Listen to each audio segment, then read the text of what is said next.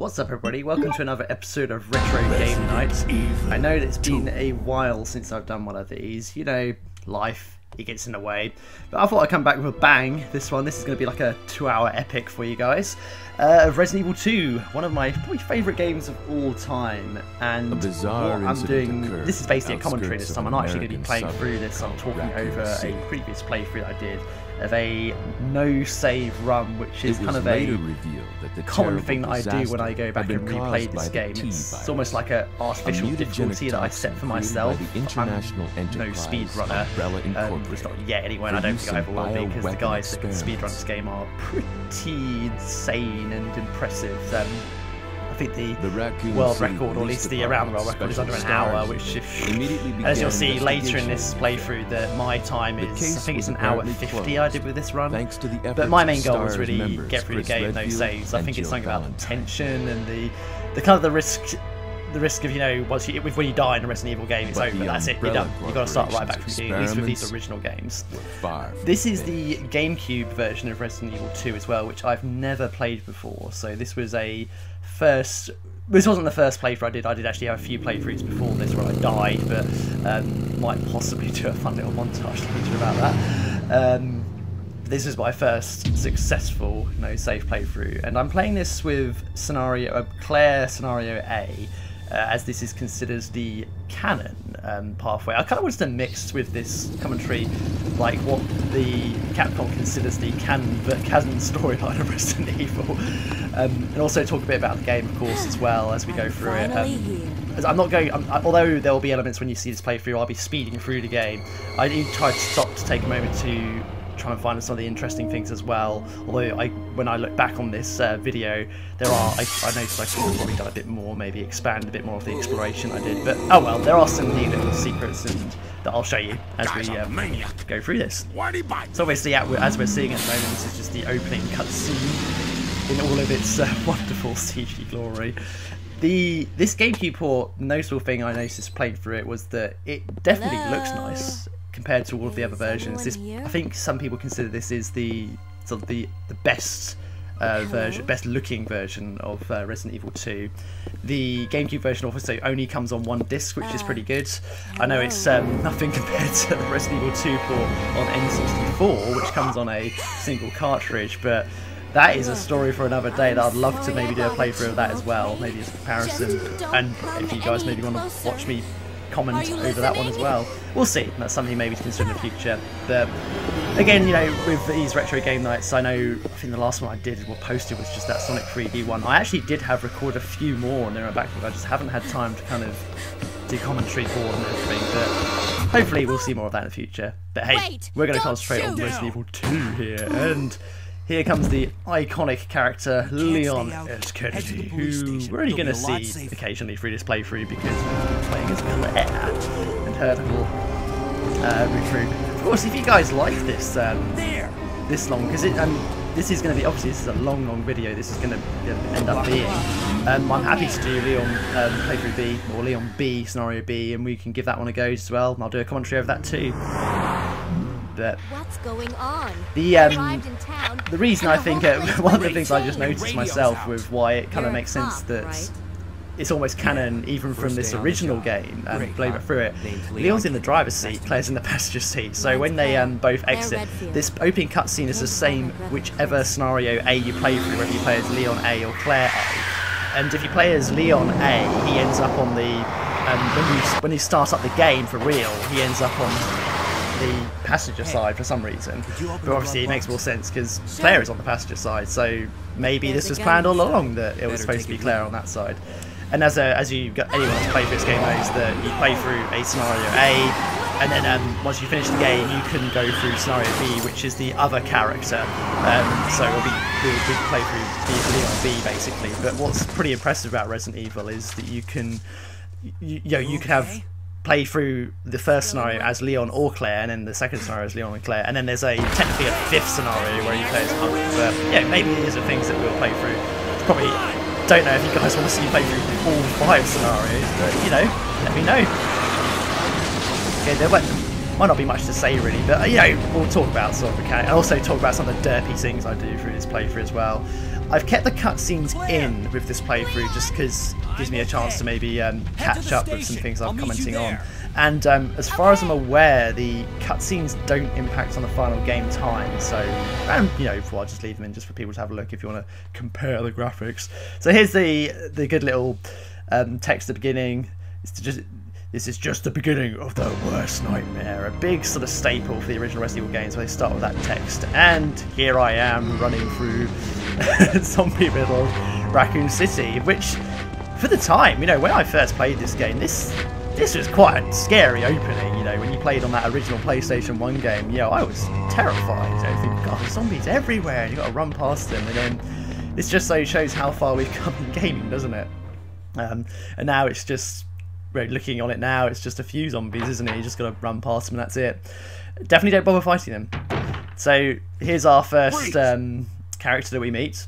Who are, you? What are you doing here? What are you doing? Reason, this is this is recently referenced in the Easy Allies um, podcast episode as well, where they both they referenced um, that that guy's um, the shopkeeper, the gun Ooh. shop owner's um, Sorry, infamous line.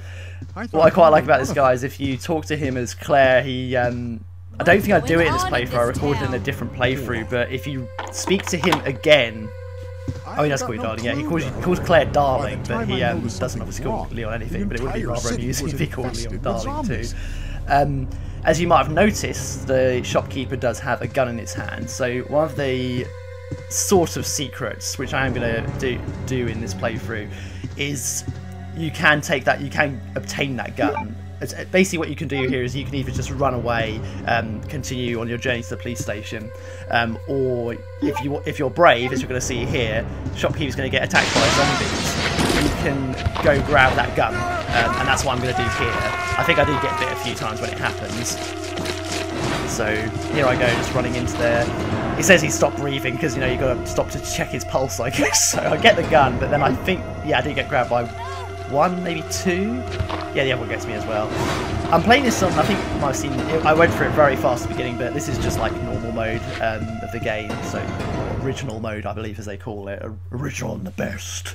Um, on the European version, the although this is of course the European GameCube version, but the European version of the PlayStation 1 version, they I believe original mode is all that's available, or just normal mode was all that's available. There wasn't an easy get-go, as far as I'm aware. I could be wrong or at least it's not the same in comparison to say the American version where they have a few different difficulty modes. One where you just get you get start out with loads of guns.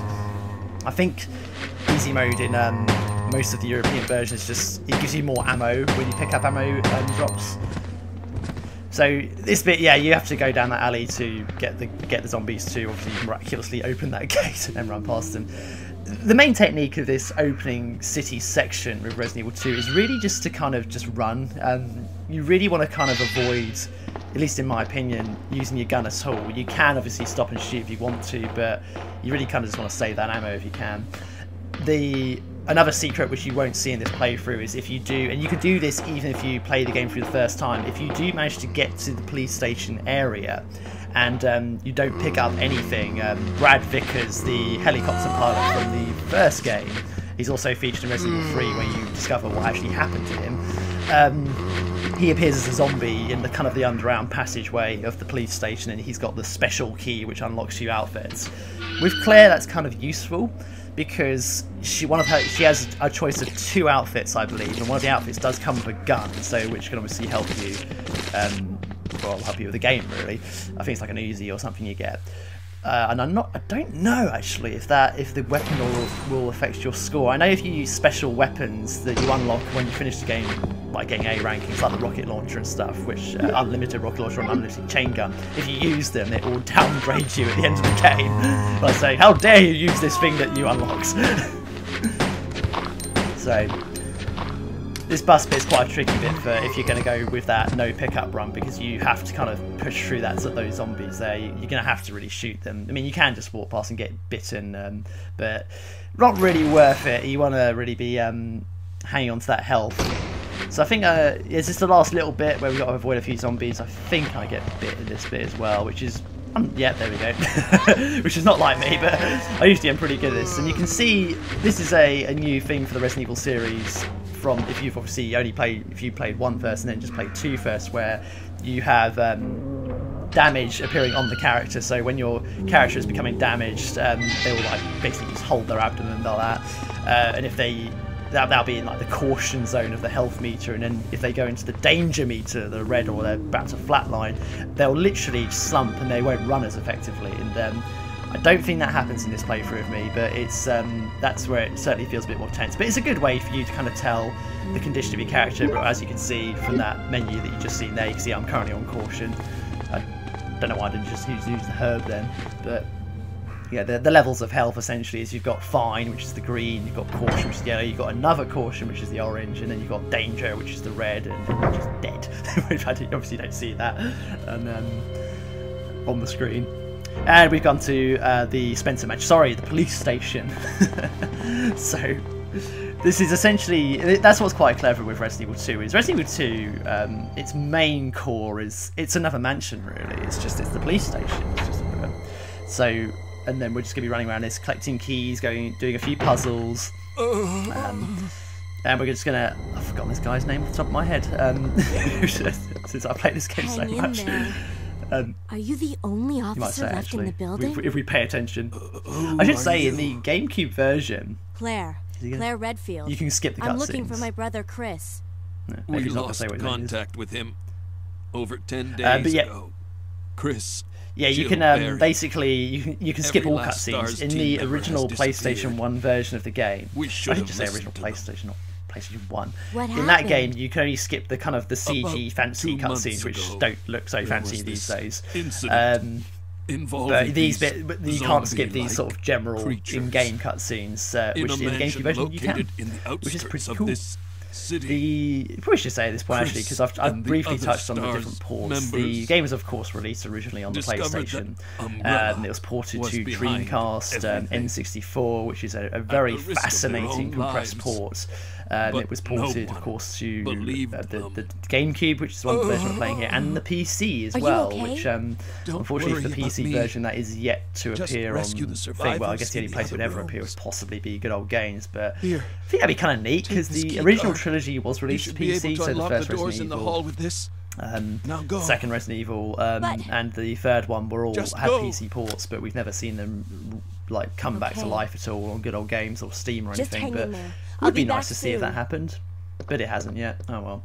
Um, and of course, there is the infamous Tiger handheld Resident Evil 2, um, which dare we even call that a port really, because it's just black and white garbage from the footage that we we see. But um, it's very unlikely I'll ever own that game because I don't have a Tiger handheld or ever play it. I don't, I don't need to have. I, I, I've, I've kind of, I'd like to have every version of this game. That'd be pretty. This version of the game, but I don't need that Tiger version. I mean, if I come across it at Carby or so or something, I won't say absolutely won't say no to it, and I'll pop it on the shelf and admire it and think, mm, I'm so, I'm so proud as a game collector to have every version. but um.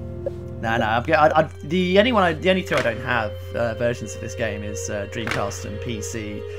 I'm not going to be too sad if I never obtain them. Um, if I find them, I find them. If I don't, I don't. And that's kind of the same with this GameCube version. I, I don't. I think I briefly mentioned this to other people that in the space of a month, I don't know how this happened. I managed to obtain basically all six GameCube games. I, I have always had just the disc only of the um, of Resident Evil the remake on GameCube, which I obtained from like a closing down blockbuster years ago. But um, I always kind of wanted the GameCube games just because I was always fascinated by the ports. And then somehow I waltz into a charity shop as you do one day, and I see. I think then I found Resident Evil Zero and Three, yeah, and then I, I picked those up, and I was like, neat. But now I need to get Resident Evil Two, Code Veronica, and all those other ones. And then um, yeah, you go, yeah, you go into other places. I think I got them all from charity shops, I believe. Maybe uh, I think I got one of them from CEX. Maybe I can't remember which one, but it might be it'll be the remake again. Yeah, remake. I think I I but with the box version, the manual I got from good old CEX. But all the others I found in charity shops. Um, Within a space of a month, different ones as well, which is just weird. it's just uh, you'd expect them maybe to be in the same ones, and so yeah, I was very, I was a happy, happy camper, and I thought I'm definitely going to play through all versions of these. Um, but it's nice to have the box copies. So here's the the old licker scene, and this is kind of the reason why I picked up the bowgun. Really, is this is the bowgun is garbage. I hate it. I don't like it at all. But it is pretty. It's quite useful for this first licker scene, which I I generally like to take out if I can. I mean, you can just run past them, probably, to be honest, that's probably the best thing to do. But these lickers are little buggers that they can be a real nuisance. In fact, one of the playthroughs, which when I tried to do the, um, when I was recording a no save playthrough of this game, um, I was killed by a licker that did a, a, basically a big lunge attack, a bit like what the hunters do in the first game, and it just took me out. I was only on yellow caution as well. it just wrecked my day. So you'll know this playthrough I have been a little bit more cautious with lickers, as you'll see later, which I'll probably try and highlight actually. Um, yeah. It's not really just a lot to say at this first. The first, this first section of um, the game, we're just running through. Uh, we're basically heading to the Stars office. Um, Nemesis isn't in this game, and at this point, really, when you're when you're in the police station, if you're a first timer, I would just say take out everything and everything, really, because most of the corridors now are quite narrow and they're hard to. You know, it's hard to run past enemies. There are opportunities that you can run past, which. Um, you'll kind of see later there are some rooms which are quite large which will help you um, run past the zombies. The zombies are quite slow but as you'll certainly see in this playthrough um, they have had the habit of doing this kind of like lungy thing they do which then they end up grabbing your leg but when that happens player just um, handily just kicks their head off. They did this in the um, first Resident Evil as well but the whole lunge effect that they do seems quite common in this game. The zombies are obviously very slow Resident Evil 2, but when we bump up to Resident Evil 3, they do pop, they do um, massively improve their speed. they get a lot faster. Not like the sprinting Crimson Heads or anything, but they do speed up a bit. Um, I have been replaying Resident Evil 3 actually on the PSP, sort of when I'm you know, when I'm my breaks at work, when I have an opportunity, to, when I have an opportunity to have a break these days. Um, i have I've, I've completed Resident Evil 3 again, uh, finally, which is one of the of, of, the original trilogy. It's the one I've played the least, which is weird actually.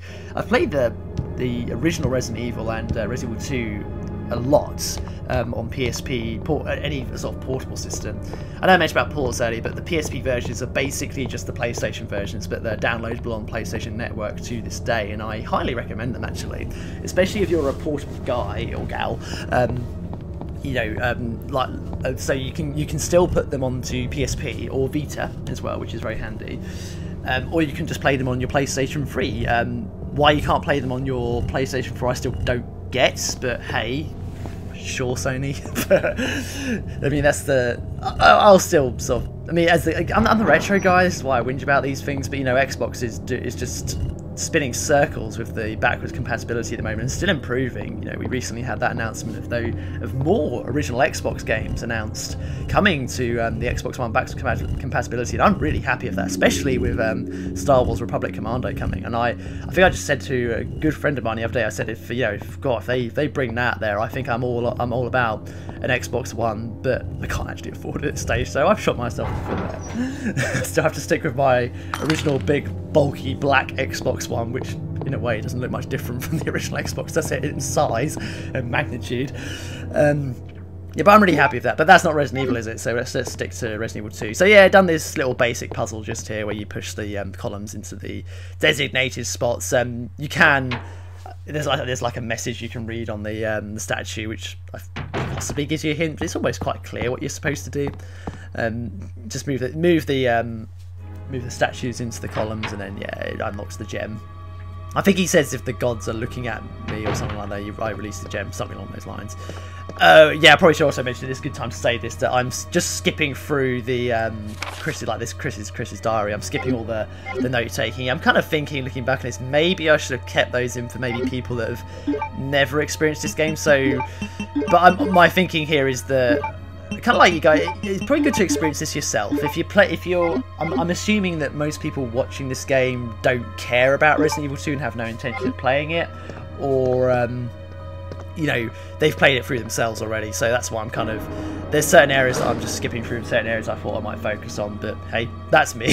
that's the way I've decided to play through this a fax comes through just on this machine here, I, I think I just ignore it in this playthrough. But yeah, yeah, the, the, the documents are good though. If you're playing through this game yourself, they give you backstory to what's actually going on in the background. Chris's diary basically is him whinging about nobody believing him about the mansion incident, and um, that fax I believe is for Chris. I believe about about something that he was investigating. Uh, yeah, shows you how often I pay attention to these documents. It's been a while since I played through them, but you know, if um, if people want me to do more of a story focused playthrough, um, I'm happy to go through, pick up documents and put like a dumb voice in, on that I literally do to read through them. Um, I think I did that on a previous Resident Evil playthrough of the original game, which is funny for old Itchy Tasty. I don't think I've got that on my YouTube channel. I don't know if I've still got the footage of that, but oh well. So yeah, we've got the um, got that little disc you saw me pick up with the unicorn on it. So we've got to run back to the hall. You know, first bit of backtracking here, and then this is gonna this this first section is a bit of um, kind of you know quite a lot of backtracking actually. I do have a particular planned route here, which I'm going, which is the comfortable route for me. Um, right earlier on when you saw me fiddling on that computer where I unlocked the doors, there was two options. You don't have to go this way. I'm going. You have the choice to go for a different door. I choose to go this way because it's faster and this is more the efficient route. And I think it tends to be the route most speedrunny types go as well. Um, because the if you go the other way, there's more locked doors there. That just there's I, there's locked doors. That just, there's not much really to get out of going that way at this stage, apart from if you just want to you know eradicate some of the zombies in that direction. And that's the thing about these old games is uh, certainly yeah definitely Resident Evil 2, maybe not so much Resident Evil 3, which I discovered from replaying that. That once the enemies are dead, they're dead. They don't come back. They don't respawn or anything like that. So you know, if you if you want to have a play it safe playthrough, like I say, just kill everything. Um, skip everything, obviously, in that city escape um, section at the beginning. Um, and um, you, know, you kill everything, and then you, you, you, get that kind of moment of peace and calm from not being bothered by zombies. Of course, what you will see is things will um, pop up, new enemies, or pop up in areas that were once quiet before, but uh, you know, we'll, we'll see that as we go along. Of course, there's the uh, the, the the big boxes, uh, the the, the un, not, not really unlimited are they? They do have limited space, but I've never had a played a Resident Evil game where I've um, managed to max out the um, space of the the boxes, which basically hold your items that you need to stash for a bit. Um, generally, I like to especially in these early segments of the game, I like to play it risky. I don't carry any health items. I'll just literally carry the handgun and the and, the, and a bit of ammo, of course, just in case. Um, I know where most of the health items are, so and I'm kind of aware that there there is help around the corner if I need it. So I, I don't think I'm posing a huge risk really, or, although maybe it seems that way, but. Um, yeah, we've got the key. Um, this is the first key. I think um, what you can do, you can do the same thing that you do in the original Resident Evil, where you can examine the key, because at the moment it's just called the precinct key, and if you look at it, I think it calls it the probably the club key or something. Uh, it was one. It's one of the um, the card shapes, and it will change it from the precinct key to that designated key. Instead, just then I use the precinct key. But if you do that, then the text will change to what shape it is. Um, so I think the, I think I've got the spade key at the moment. Um, so, but yeah, that's just a little kind of like a little thing you can do. It's not you don't have to do it. Uh, but the examine, examining items in Resident Evil 2 really falls by the wayside. They don't do the neat thing in the first game, you know, where you can rotate the items. You can't kind of move them around, examine them, which I always found was really cool actually in the first game. They brought that back a lot later. I think I think it was Resident Evil Code Veronica that was the big revival of that idea. You know, where you look at the item, then something's hidden on it, and then it you know gives you another item. But they completely um, ditched that in this game. They do bring it back in Resident Evil 3, but kind of in a boring way. It just gives you like a still image where you have to examine an item to get another item, but you just look at it and it's like, oh, oh, here it is. Here's that thing. But yeah, I've see, I dropped, I stopped off in that little cupboard just there, just to get the crank, which we're going to need for a lot later. So a lot of kind of like this early bit here is me, you know, picking up things that I'm not going to eat straight away. I'm getting stuck around the corner there for some reason. this is of course the Resident Evil series that uses tank controls. oh, no, this is probably a good point to mention that this is where I um, I'm using a GameCube controller, which I did a picture on Discord of um, the people laughed at me already about my little thumb injury. I play Resident Evil games with the D-pad. I'm not. Uh, I think that picture might have given the wrong impression. Yeah, that thumbstick is completely just horrible. it looks it looks disastrous. Although it's still functional, I should say. It works fine actually. It's just the plastic is kind of worn off over time.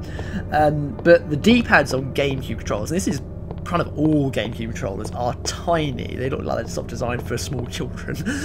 but I know that being said, you know, um, I, I I kind of have the same issue with the um, Switch control Joy Cons, I guess. At least if I'm using one of them by itself, not so much, not so much of a problem if they're on the side of the Switch, but definitely individually I struggle with. But that um, that D-pad on that my third-party GameCube controller really, ooh, it, it, it, did a number on my thumb, and um, this is this is complete playthrough with no breaks as well, by the way. So yeah, that redness was cranking itself. So we saw saw our first image of young Sherry there, who mostly just spent the game running away from Claire, and, and we'll, we'll see for good reason why later with uh, one of the voices she puts on. but, um, and of course we beat up with Leon again. Here is Leon, just Leon. casually walking by, um, looking a bit looking a bit sad, I guess. It's hard Claire, to tell with their, with their static it. faces here at this yeah. stage, but. Uh, this scene particularly does show you that the GameCube version looking a lot better than the PlayStation yeah, version. The um, textures on Claire's legs have definitely more detail, and well, and Leon's legs that matter. Both both fine pairs of legs you've got there, guys, but more detail on their character models. Um, it's also quite amusing that we're playing a GameCube game where characters don't blink or move their mouths. But, uh, it shows how far we come within the generation gap, though. How you know, you know, with, from PlayStation to game uh, to PlayStation Two, that there was a big jump and a big leap, really. Never felt like we had that big leap from you know 360 to Xbox One, but hey, you know, maybe we just added more enemies on screen, right? Of course, Claire's got, Claire's got a lockpick. I should have mentioned that too. Um, so Claire is Jill, basically. She is the master of unlocking um, in this game, and so it, it, does make things a lot easier. Where you're going to kind of you can you can unlock the um, the occasional side chest or something to get an item, um, which I think I did have pretty much every possible opportunity in this game. Uh, Leon is like Chris, where he has to find the little keys, but unlike Chris, Leon has eight slots this time and not six slots. You know, he has more pockets, even though. Because because Chris needs those pockets for his cigarettes. That's why he can't stash more things in that green jacket that he has. well, I'm just taking a drink there. Right, uh, so here's the library section, and this is a good. I've, I mentioned this to a friend as well. The um, th this library puzzle is pretty straightforward. What you got to do is just match that how the the shelves appear to how the shelves appear on the um, that little picture you just saw just then. Fairly straightforward. And then you pick up uh, your first. This is kind of like the first key item, which I'm going to need later to essentially escape the police station. Um, so, but quite yeah. Then again, I say I say these puzzles are straightforward now, but it would be fascinating now to go back and re like try and play through these games blindly and not know because I make it look easy because you know I play uh, I play these games so many times and you know I played it back in the day because I think the first time I played for I probably was fiddling around you know like right left right left trying to get things protected but once you know the puzzle it sort of stays ingrained and you just don't forget it really. Um, although that being said, it's not for every Resident Evil game. I think there's some games, Code Veronica, which I replayed not too long ago, um, I played the HD version on PlayStation 3, um, which pff, HD I'll call that debatable, but just seems just seems the same to me. But then again, you know, I'm the guy that doesn't notice much with graphics. I guess I just maybe it's my eyesight. Get my eyes tested or something. Um, but anyway, point is, is there's some more complex puzzles there, and I, you know, I'm not shy away from just getting up the quick, quick solution off the internet and figuring it out. Um, well, I have, a, I've, obviously, I think I have originally played through sort of every Resident Evil game without walkthroughs at some stage. Silent Hill to me was the one that had the more complex puzzles, but certainly what's interesting with Silent Hill is I don't know if you guys remember that most of the, later games at least, uh, Resident Evil, not Silent Hill 2 and 3 at least, uh, they let you choose the difficulty of the puzzles, which was kind of neat. Um, but yeah, again, these puzzles, it depends on your definition of puzzles, I guess, because really, I guess it's most puzzles in these games are just putting items in the right places and shifting things in the right orders.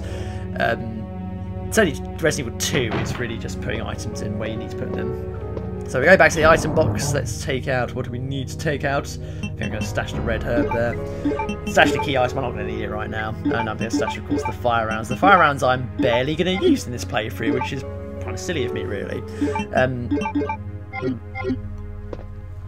I have a set sort of route through this game, and, and, definitely when I'm replaying this, I know I can see myself because it's rare I take that this opportunity to actually kind of watch what I'm doing actually and uh, view how I'm playing the game. But you know, I, it'll be it'll be fun. Definitely later, I'm going to be poking probably more fun at myself for things I could have done better or ammo that I could have used if I wanted to. Um, but I still I still play this far too survival horror where I stash mo I, I only use the ammo if I really need to use it. Um, so that's why you'll see that I literally cling on to the pistol for this first segment of the game. Um, but, and then later on I'll completely just ditch the pistol and just stick with the um, the grenade launcher, which uh, with its multiple ammo types. The it, as I said, the bow gun is is just god awful. The bow gun it is terrible. It basically what it does in Resident Evil 2 is it fires three shots um, um, per a row, and they, they, two of them go diagonally and one just goes straight ahead. So essentially, you're wasting a shot. You, you need to get very very close to the enemies, and from what I'm what I see, I think the only enemy it appears to be effective against is the is the is the Licker. I was about to call it hunter again. Um, they seem the bowgun tends to be pretty rubbish against zombies. I've I found. Um, I could be I, I could be proved wrong, but certainly from my my past experiences, I've honestly never really tried using it because the few experiences I've tried using it, and it's just awful. It's just terrible. There's not really a lot of ammo for the bowgun in this game as well. They, will bring the bowgun back, don't you worry. And the bowgun is gonna is gonna feature in this series for, for years to come. Although they sensibly ditched it in um, Resident Evil 3, thank God. Um, but yeah, uh, maybe it's just a thing with Claire. They, they brought the bow gun back for Claire in the uh, in Code Veronica, and um, they thought, oh, we'll just make it fire one arrow at a time, and it'll still be useless. at least it's slightly more useless and uh, slightly more useful in Code Veronica, the bow gun, because you can put explosive arrow rounds, which are useful, but the individual arrow shots are just rubbish. I don't know. Maybe it's because, but then again, maybe we should be maybe we should say, yeah, it kind of makes sense. You know, shooting an arrow at a dead person isn't going to stop it. But I don't know. But then again, this is you know why aren't they aiming for the head each time with the pistol? Uh, it's all good fun. We like to poke fun at old games and um, old cliches. So I've got these two, well, I think I only have one gem in my inventory at the moment, but what I'm kind of working towards, is I need to get two gems to obtain another key um, later on. So um, Claire Leon actually starts with the lighter. So that puzzle there, or that yeah, where you can just um, if you look at the picture, it says something about burning, and you, you basically just got to burn the picture. So not burn the picture, you got to um, display. If you ever see a fireplace in Resident Evil game, basically set light to it because that will usually that'll help you progress. Um, and that that is a thing I believe it's in every game, all the first three games. I believe you do um, you do light up a fireplace each time. So Leon has the lighter to begin with, and I think Chris has a lighter as, as his like you know sub a sub item that's like permanently there.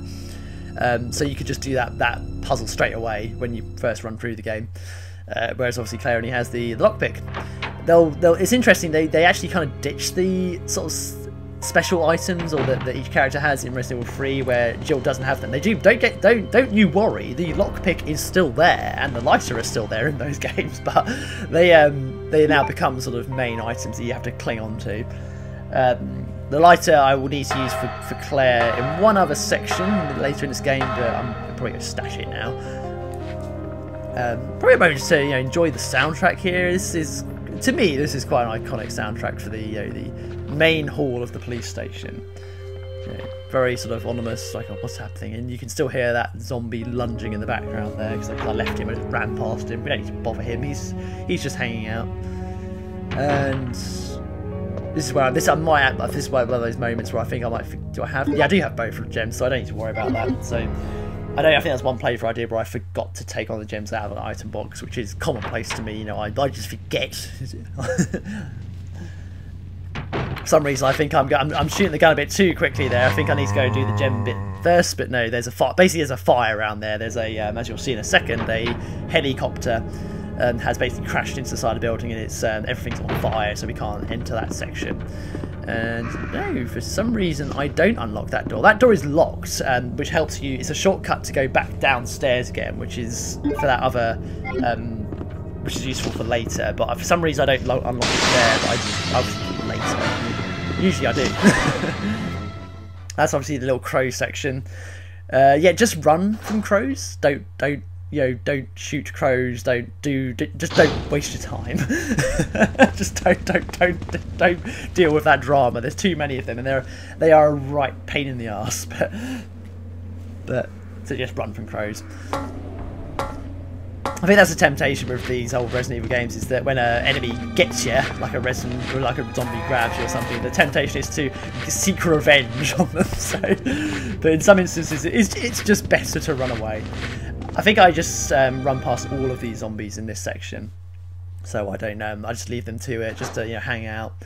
Yeah, because once we go through this bit, we're basically going to get a valve. Um, you know, valve puzzles, right? and uh, you're getting a valve and uh, another bow gun because because obviously you have to understand, you might not actually get that gun from the from the gun owner. So this is you you do get a second opportunity to pick up the weapon again later. So for reasons I don't really know, I pick up the bow gun again. I don't think I ever use that one. I might do. Um, I think. Oh no, I do, don't I? Because I use it. There's a, there's a there's one there's one more instance of me using the bowgun later. So yeah, basically just so we don't need to come back here off this. Um, interesting note though, this section that we're seeing here is sort of the beginning of scenario B. This is where the second character will enter the police station through this route, and you'll also see how the um, the helicopter um, and, and ends up in the position it's in, basically how it ends up there. But and right now, though, it remains a mystery. You know, we, we, we, if you played through this first time, maybe you're questioning. Maybe you're thinking, well, how did that helicopter enter down? I don't think I ever did question it the first time I played through the game. It's like, yeah, well, it's a zombie apocalypse. Of course, there's a crashed helicopter somewhere.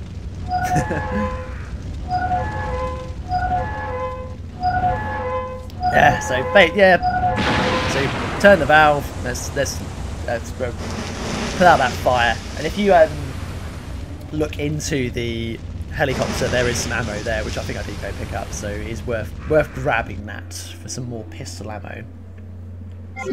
Take out those zombies. There is a section coming up very soon where there's going to be a loot of zombies in one corridor.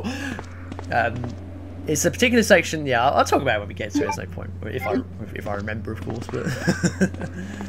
so let's go back through, let's go um, run past the crows. Um, I think this might be the only. I think it's just this is the only section with the crows in Resident Evil 2, which is interesting. So you never see them again.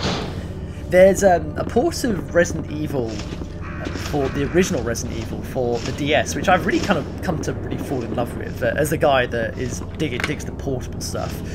Um, but it does have this mode called Rebirth mode, which I despise because it basically it, what it tries to do is it tries to kind of reinvent the wheel a bit where uh, Resident Evil uh, at least the I guess maybe I, maybe I'm a purist I guess but the general formula is that enemies don't tend to appear or different enemy types don't tend to appear in the same room together. So like you won't see a Licker and a hunter in the same room although that slightly does change in Nemesis but not in these really old games, certainly the original Resident Evil, but in Rebirth mode they do love to throw in a, a crow with a batch of zombies, and those crow enemies are are just horrific because if they get if they get you basically, they do this annoying animation that sort of distracts your character while, and during that period, a zombie is just going to erupt you and just eat you. so, so I, am not a big fan of Rebirth mode. Um, there's a there's a familiar screen that we appear in almost every movie. But but it's it, I'm not against it because of course it lets you choose classic mode. I just choose classic mode every time because I'm a dinosaur. I can't evolve. I can't I can't accept change with these games. Stop messing with my old formula. So yeah, so this is quite straightforward. Yeah, you just put put the gems on the um, put gems on the statues, and we obtain our second key. What I love though, is of course, we get a um, another another cutscene. Because they did give us a cutscene when we got the first key as well.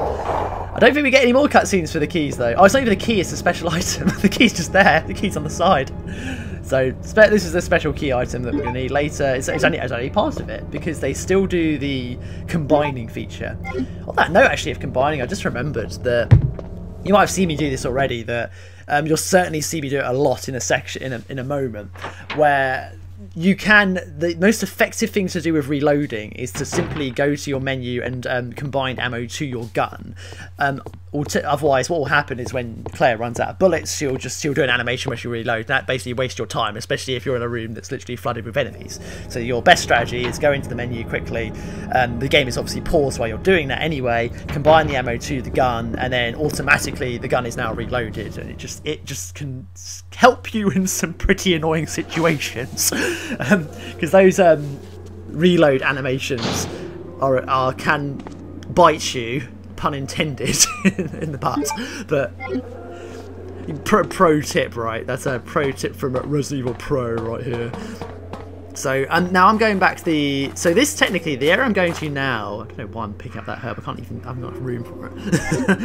the. Uh, the, this is the kind of the back route that we never went to, which was unlocked a lot earlier. But I'm just going the back way. But of course, the the top floor is inaccessible because it's locked. Because um, as it said earlier, the door is now unlocked. It's, it would just say it's locked from the other side. So yeah, here we are with another section. Um, quite a few zombies in here. These ones you kind of can avoid. Uh, there's one down the kind of the right hand side that you'll saw briefly. It's lying on the floor. That if you just go that route, you can kind of avoid all of these zombies. But I'm kind of going in to shoot up a few of them because I'm gonna.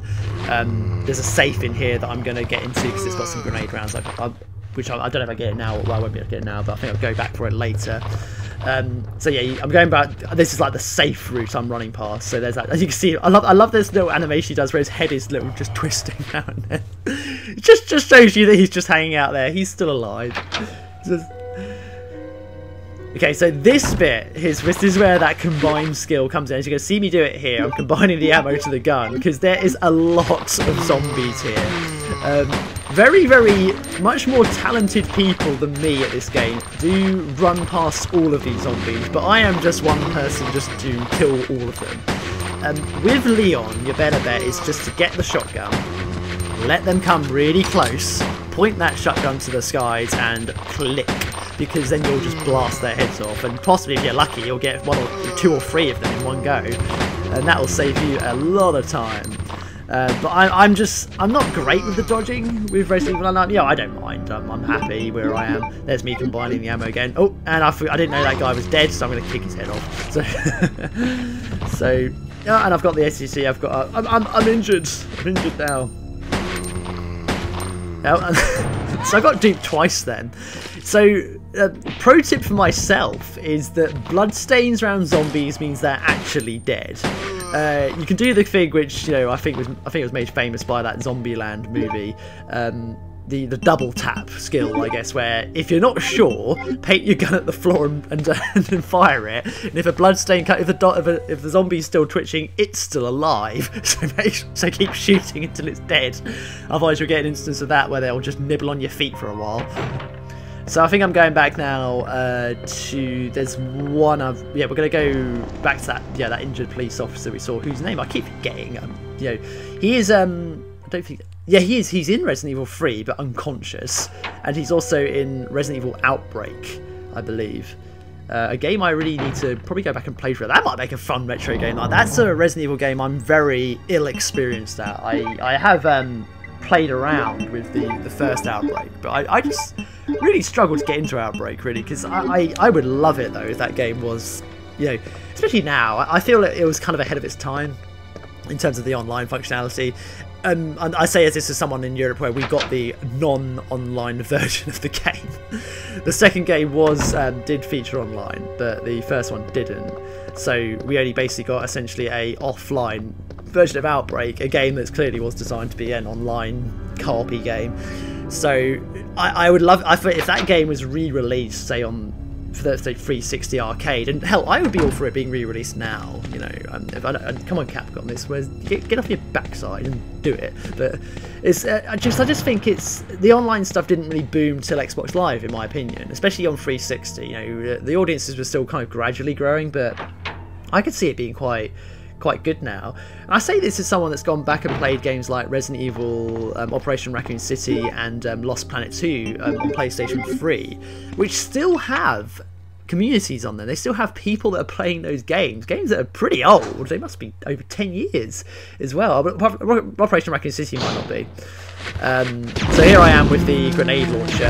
Get I use this deliberately because these zombies can just wreck your day. There's one that comes from the left there, as you see. He's just and I just don't have time to. You know, it's it's quite stressful. You can die quite quickly and get a little bit overwhelmed a bit quickly. So yeah, just get your get your good gun out. So for Claire, get the grenade launcher. If it's Leon, you, are going to use a shotgun basically.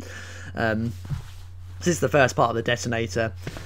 I'll go back to online stuff in just a moment, actually, because this is this is a fun section we're coming to uh, now, where we're gonna um, re re meet with our police officer who's been injured and uh, and who's totally not going to turn into a zombie. so, in case you didn't predict that was going to be a thing that happened, um, yep. So we're going through here.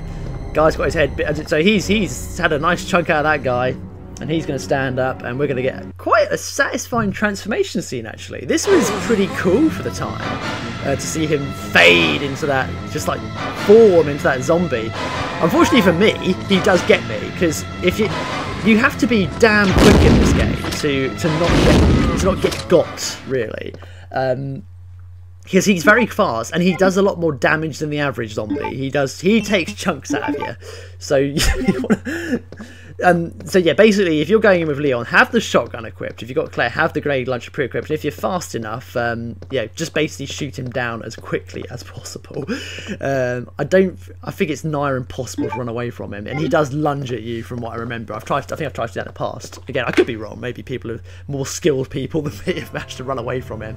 But I think he's one you really do need to attack him. Go on the attack. So we've got all the parts for the explosives and the detonator, so now we can essentially clear the um, the wreckage. Um, up and see, I, I picked up the bow gun ammo for some reason. I don't know why, but which I don't think I'm ever going to use. But yeah, I'll stash it in my in my treasure trove. I put on. yeah, I, I, like my loot. So you see, see, Resident Evil was doing loot before it was cool. so, so we're gonna Let's go stash some of those items. Um, I think I'm stashing, yeah, stash grenade launcher as well. I think I'm just trying to, because it's, it, when you kind of know things are safe, um, you want to just, just go go with pistol alone and leave as many gaps as possible, because there's so many items to pick up, key items, in it, I think I've done quite well in this playthrough, where I've never had to really do one of those typical things with a Resident Evil game where you have to go back to an item box to clear more space to go back to a room to pick up an item that you need to pick up earlier. I think I'm pretty good with this in this playthrough where I've already kind of preemptively done it. Um, and with with the, the, handy thing is if you're desperate to free up space, you can use like a healing item if you have one in your inventory. I mean, they are at least in the police station, they're pretty nicely scattered about. It depends how well you're playing through the game. You know, if you're eh, you know, for a first time, if you're running through those healing items, maybe stash them when you need them. But if you're desperate, you can use a healing item even when you're on fine. Um, so obviously I'm picking up the healing item there because I'm going to pick up a red herb soon. And yeah, the herbs are quite, uh, uh yeah, for the original Resident Evil games, up to I think Code Veronica, you can do the infamous combining where you can combine herbs to make them more effective. So uh, one green herb is just standard health, really, but if you combine two, it's more effective. Three is the most effective, it'll fill up completely. Um, one green herb combined with a red will be the same effect as three green herbs, basically, so that's the best, you know, and the most efficient combination. Blue herb will heal poison, so that's quite useful for later. In fact, there's only one enemy, maybe two, um, which is the spiders and possibly the moths. I know the moths are poisonous in Code Veronica, but I don't think they are in this game. Oh no, there's, there's sorry, possibly three because there are the plants in this game, which we'll see those later, which have some long name like the TN something or other, the whatever, some, the plant, they're plants, living plants. Um, they can poison you too. So the best combination basically is one is one green, one red, one blue. It will give you basically the the, the same effect essentially as a health spray, which will, will heal you completely and um, cure any poison effects. Um, but so yeah, that's right. So I've done that little combination just there, and we're gonna go in for a. No, I'm in, I'm in We're gonna come up to a jump scare moment in a second, which. Um, but before we do that, we're just going to pick up some pistol ammo. I, really playing this, but I don't know why I even bother going into this room. because there's really not much here. It's just if you need to get some more ammo. Of course, for a first time, absolutely go in here. Go grab that ammo and you know stash it. But we're going to go backwards and um, yeah, so I think I get rid of it now. Yes, so there's the thing, little note to touch on there is it's very handy to when it to use the keys when possible because once you've used the keys in every lock that they need to be used, then it will give you the option to discard them, which of course frees up another important space in your item inventory. So uh, picking up another key item just here. So we're nearly there. We only actually need one more, which is the other half of the blue stone. And there's a licker that jumps through the window. And the best thing to do here is just run past him. Now, the thing about that is that that licker particularly is if I didn't go in that other room before, which had the handgun ammo, if you run past the Licker, and even if you kill him, I believe, another Licker is in the other room, so it's best to go in that other room first before you go into the room that's locked by the with the diamond key, basically. So now we're I, now we're going to head back to the, the the crash the helicopter crashy area, um, clear the doorway basically with the detonator and everything, and uh, we're going to have a bit more plots. How far are we over don't think we're halfway through yet because I think this um, I think we're, we're looking at two hour mark, but. So yeah, I think I think I take out this guy now. So, that, so I left a lot of these zombies, didn't I? Oh, and there's also we're gonna we're gonna open up the safe as well, aren't we? And I get got here. So we'll go back to the safe bit just here. So safe around. Obviously, be careful with him, um, little Larry, who's um, on the floor there, because he he will take a chunk out of you. At least if he does, then you'll kick his head off. Um, so I know this safe key combination off the top of my head. It's 2236, but you do find the um, combination to the safe on a piece of paper um, in the game. I think it's upstairs, uh, which tells you. And it is useful because the chemical rounds, um, the grenade rounds, particularly for Claire, are very handy against um, the boss characters in this game. And that's kind of what I saved them deliberately for. Um, the they're also the, the grenade's an interesting gun actually in, Res, in Resident Evil 2 because the the standard kind of grenade launcher sort of rounds they kind of do like a spread effect a bit like the bow gun but not as kind of bollocks but and, and as ineffective. It's still you have to be kind of close for them to be useful because it, I think it does like four like close close-up shots essentially. So they're really good against like lickers if they're up up in your face, and they're very good with zombies when they're up in your face as well. Uh, but you don't want to use those standard grenade rounds for long shots. The flame rounds and the chemical rounds are one shot a piece, but they go they travel quite far. So they're very useful. The flame rounds particularly are useful for anything that may be plant-like, with the emphasis on plants. and um, but the chemical rounds are basically good against um, bio weapons, I guess. So you know, like the lickers and uh, definitely the the the bosses that we're going to encounter in this games. Um, but we're going to see all that later. So yeah, here we are. Here we are at the um, the helicopter. Let me just rearrange myself a bit. Ugh. And we're going to clear the path and see what all that screaming was about. Seems like it was a while ago now, doesn't it? But obviously, you want to go stash some stuff first. I mean, that wire, the wiring is interesting actually, because the wiring um, may or may not. I don't, it's, I don't know if it's useful or not. What is what you can use? You got a choice with the wiring. You got you got two choices to use it on um, area, basically um, shutters in the game. There's two opportunities, and it gives you a choice. Because what Resident Evil 2 does try to do occasionally is it tries to make your choices in this playthrough affect scenario B, but they're quite minimal. I'll highlight them when they come up. But basically, one of them is that you can put shutters on the windows, and it will stop basically more zombies spawning um, later. And I think for scenario, for yourself in this scenario, and for um, scenario B, but I certainly definitely remember that they they do just spawn anyway, late, uh, regardless of what choice you make. The other uh, most notable, which I'm actually going to skip in this game, but I'll let I'll remind you of it when it comes up, is there's a you come across a locker, and the character, the text clearly tells you that oh, you may want to leave this for Leon. It gives you two item choices. One of them is that you can expand your items from your item slots from eight to ten, um, which is very useful. Uh, and the other is a like a new a machine gun which takes up two item slots.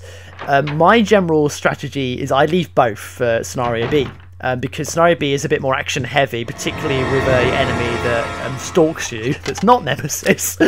so it comes quite quite handy for oh, that. Um, and of course, like the items I just think is better. It's probably because I've played scenario so much that I I know that I don't need to have the ten slots in this first run through. Maybe it is more beneficial. I don't know, but so I leave both for that. But the game kind of encourages you can actually take both items for scenario A if you want to. Um, so you can be greedy and just take both. And uh, when I very, very first played I thought, why am I leaving this for Leon? Because I didn't have any concept of scenario B, so most people would take both. you know, you're trying to survive this damn zombie apocalypse. But then that means that poor old Leon has nothing to collect. Just look at uh, so we're this is Chief Irons, who is um He's the police chief, of course, uh, which, God, of course it is. just said that. And he's uh, just murdered the mayor's daughter, of course, because she was going to turn zombie. But, you know, yeah, murdered her by doing something. It looks like he's taken a chunk out of her from the abdomen. I don't know, but because he talks very vividly here about putting a bullet to the head. Just there. but, you know, I don't see no bullets to the head there, Chief Irons. It just, just looks like someone's taken a chunk out of her. Unless, you know, maybe she was bitten or something. Who knows? We don't know the full story of the mayor's daughter. But yeah, Chief Irons essentially is um, he's corrupt as police chiefs are in video games and movies and anything fictitious. and, and he just basically just wants to be left alone, like um, like most video game generic characters. so we continue our quest to um, to admire the taxidermy in um, Chief Irons' massive office, and of course um, hunt for Sherry, of course. So that's kind of what we're doing here. We do need. A, there's another. Actually, no, I don't think there's an item here. You do need to kind of find Sherry to trigger off something. So hearing a few footsteps here but uh, to because she, she what's going to happen is that the, another cutscene is going to play in just a moment and um, I get a bit delayed here I think because I took the light on they just stopped there but I realise you have to move into the corner to acknowledge that Sherry is there so you see I'm just standing still for a bit I'm thinking huh why is the cutscene not triggering? Oh, that's why. I actually need to move because yeah, you can't. Claire can't just see her Wait. in the corner. Let me go. Easy, easy so there. I'm Claire not reinforcing that she's not a zombie. You're safe now. But when it's completely justified that a young child would run away from a stranger, so, especially in biker gear. Leon, come in. But, I found so yeah, as I was saying here, so Claire, um, Leon gave Claire a radio earlier, so um, they'll every now and then she'll pick up that radio to tell Claire, uh, tell Leon, bloody hell, I'm getting, getting too mixed up, uh, to inform what's going down. And when you play through Scenario B, you'll see the other end of those conversations. So you'll see um, Leon picking up that and uh, responding to Claire's. What's rather funny, actually, though, is that um, in the reverse, if you do Leon A and Claire B, Leon barely radios Claire. I think he does it once significantly, and that's it. Which kind of even more reinforces the this this route. Um, Claire A, Leon B being the canon playthrough, really, because it seems like it certainly has more, uh, more, more sort of parts to it. Um, certainly with the ending, because, uh, well, basically Sherry gets infected, which we're going to see later, but Claire needs to find a cure, and that that whole story arc is absent if you do Leon A, Claire B, and it's just not present at all. Sherry, but again, like I said before, I'm not against it. I like I like the fact that you do have the choice. It's kind of cool. You know, this is a, a massive bang for your buck in terms of you know game playthroughs. Uh, definitely one of the bigger Resident Evil games of the earlier lot as well in terms of you know scenarios and replay replay bleh, replayability. Um, so I just wanted to admire the armor then for some reason. Why not? so yeah, so that, that's all that happened. So Sherry's been triggered, and now we're gonna go. Yeah, yeah. So this is why you have to do that. You have to go that way because then Chief Irons has disappeared and handily left you a key. You know, because it it doesn't seem like he's really on your side, but he clearly wants you to live for at least a small portion of the game.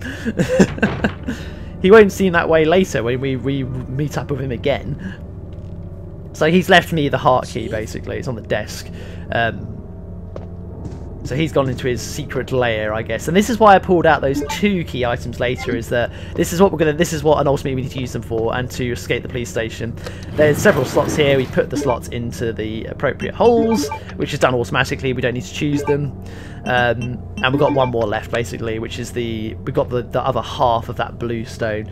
And then when we get that we'll it'll open up another area which we can enter uh, and help uh, basically essentially get get out of the police station and onto I guess the second half of the game really because I, would probably consider that the police station takes up at least a good half of the whole game experience.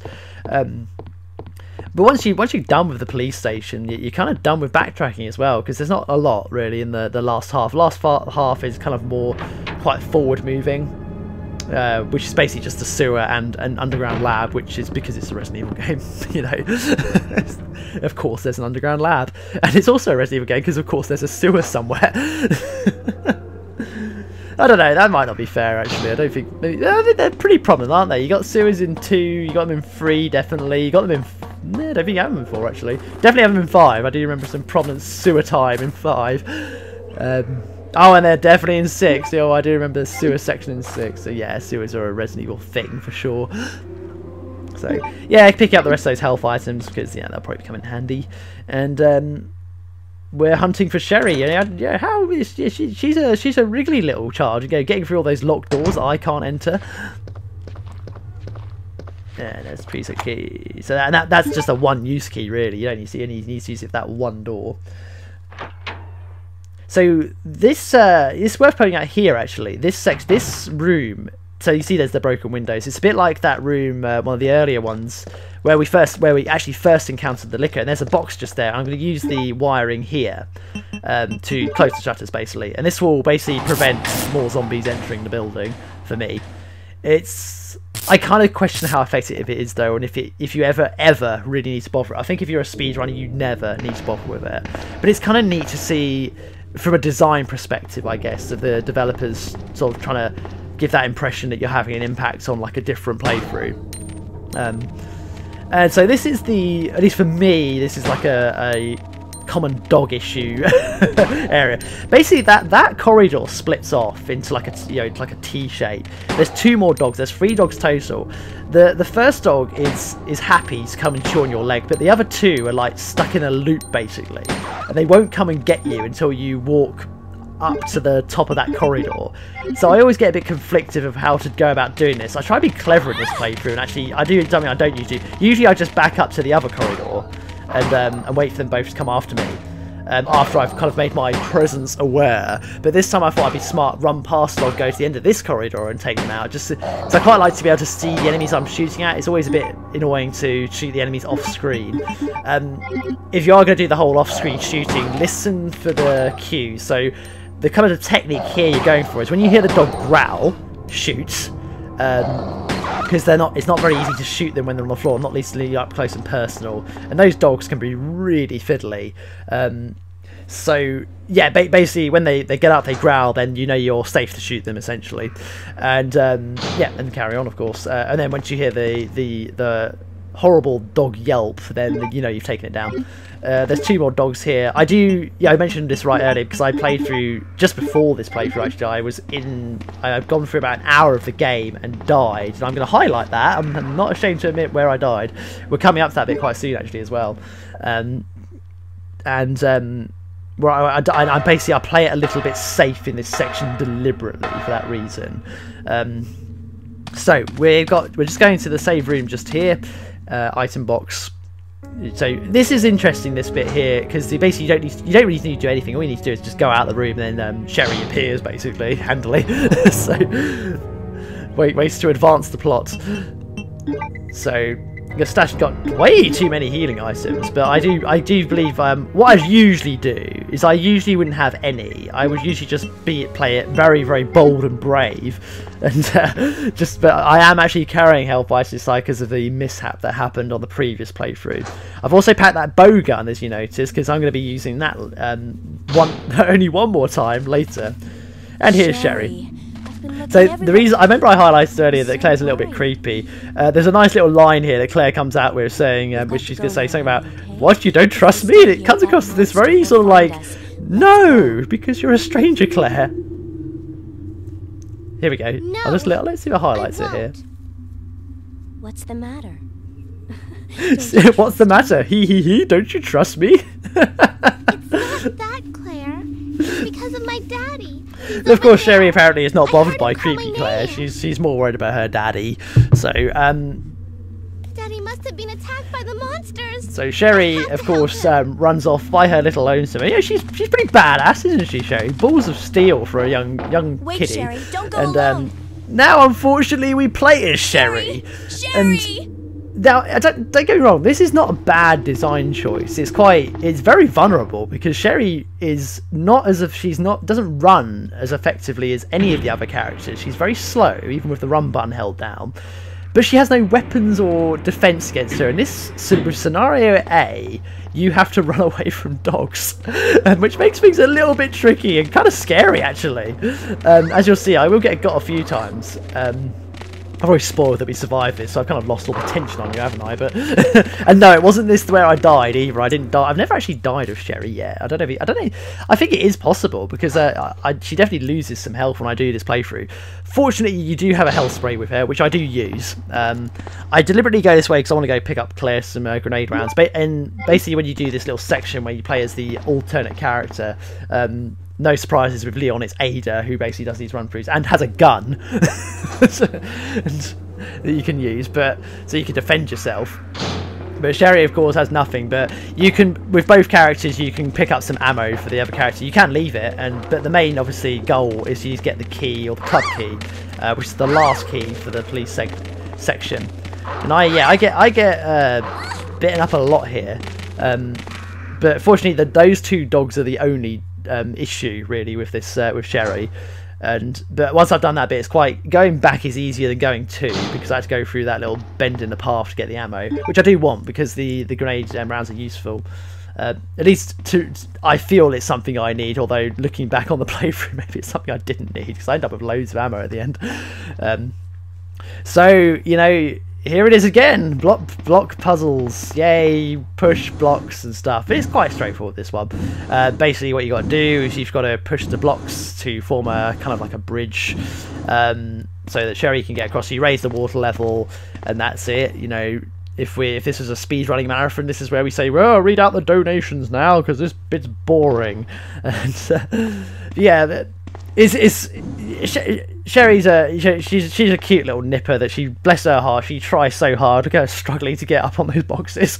And I, I do like that. It is effective you know it, you do you do feel like you're playing as a, a, weaker character, should we say, as opposed to when you do this section as Ada, who is an adult character, is much stronger and has no trouble pushing them dem boxes, and, um, has no certainly has no trouble getting up on those blocks. But it, it, I, I, like little small attentions to detail that you so you do feel like you're playing as a younger person, um, as opposed to just a like a palette swap of a different character, really. Um, so cool. It's a cool idea. Um, you play as Sherry one last time in this playthrough, and it's almost pointless because all you do is just run forward. But we'll, we'll get to that part too, which is pretty much that's the that's the emphasis of this um, playthrough, this commentary. Is you'll we'll, we'll get to that bit. we'll get there later. So across the bridge we go. Um, of course, know, it, I, I, don't. I think it's. I think it's fairly straightforward what you're supposed to. do. I was going to say, yeah, maybe it's a trial and error thing for some people. If you, you, you, what you might do first is you might raise that water level first because it's one of the first things you see, and then you'll see that the blocks are not in the right places. Then you'll lower the water level and push them in the right places. So maybe because you kind of like that little hint. Um, I always felt that was kind of a straightforward kind of puzzle thing. So now we're just running past the dogs. I don't think I get um, touched at all here. I think I'm completely fine. Yeah, it, it almost looks very scary then though, the, the dog leaping behind me. So almost, almost got got. So, and then we found we're going running back to Claire to throw items at her. Claire, are you there? Sherry, are you okay? it's funny. It's interesting that Claire just waits though. You know. Yes, I'm Whereas okay. you know, usually when Sherry runs away, yeah, you're just him. exploring. Yeah, so she basically Sherry will chuck the key in, but if you've got the other item, she'll say she's got another item. What I like, what I like here is that, you know, the Grey Lambs look heavy.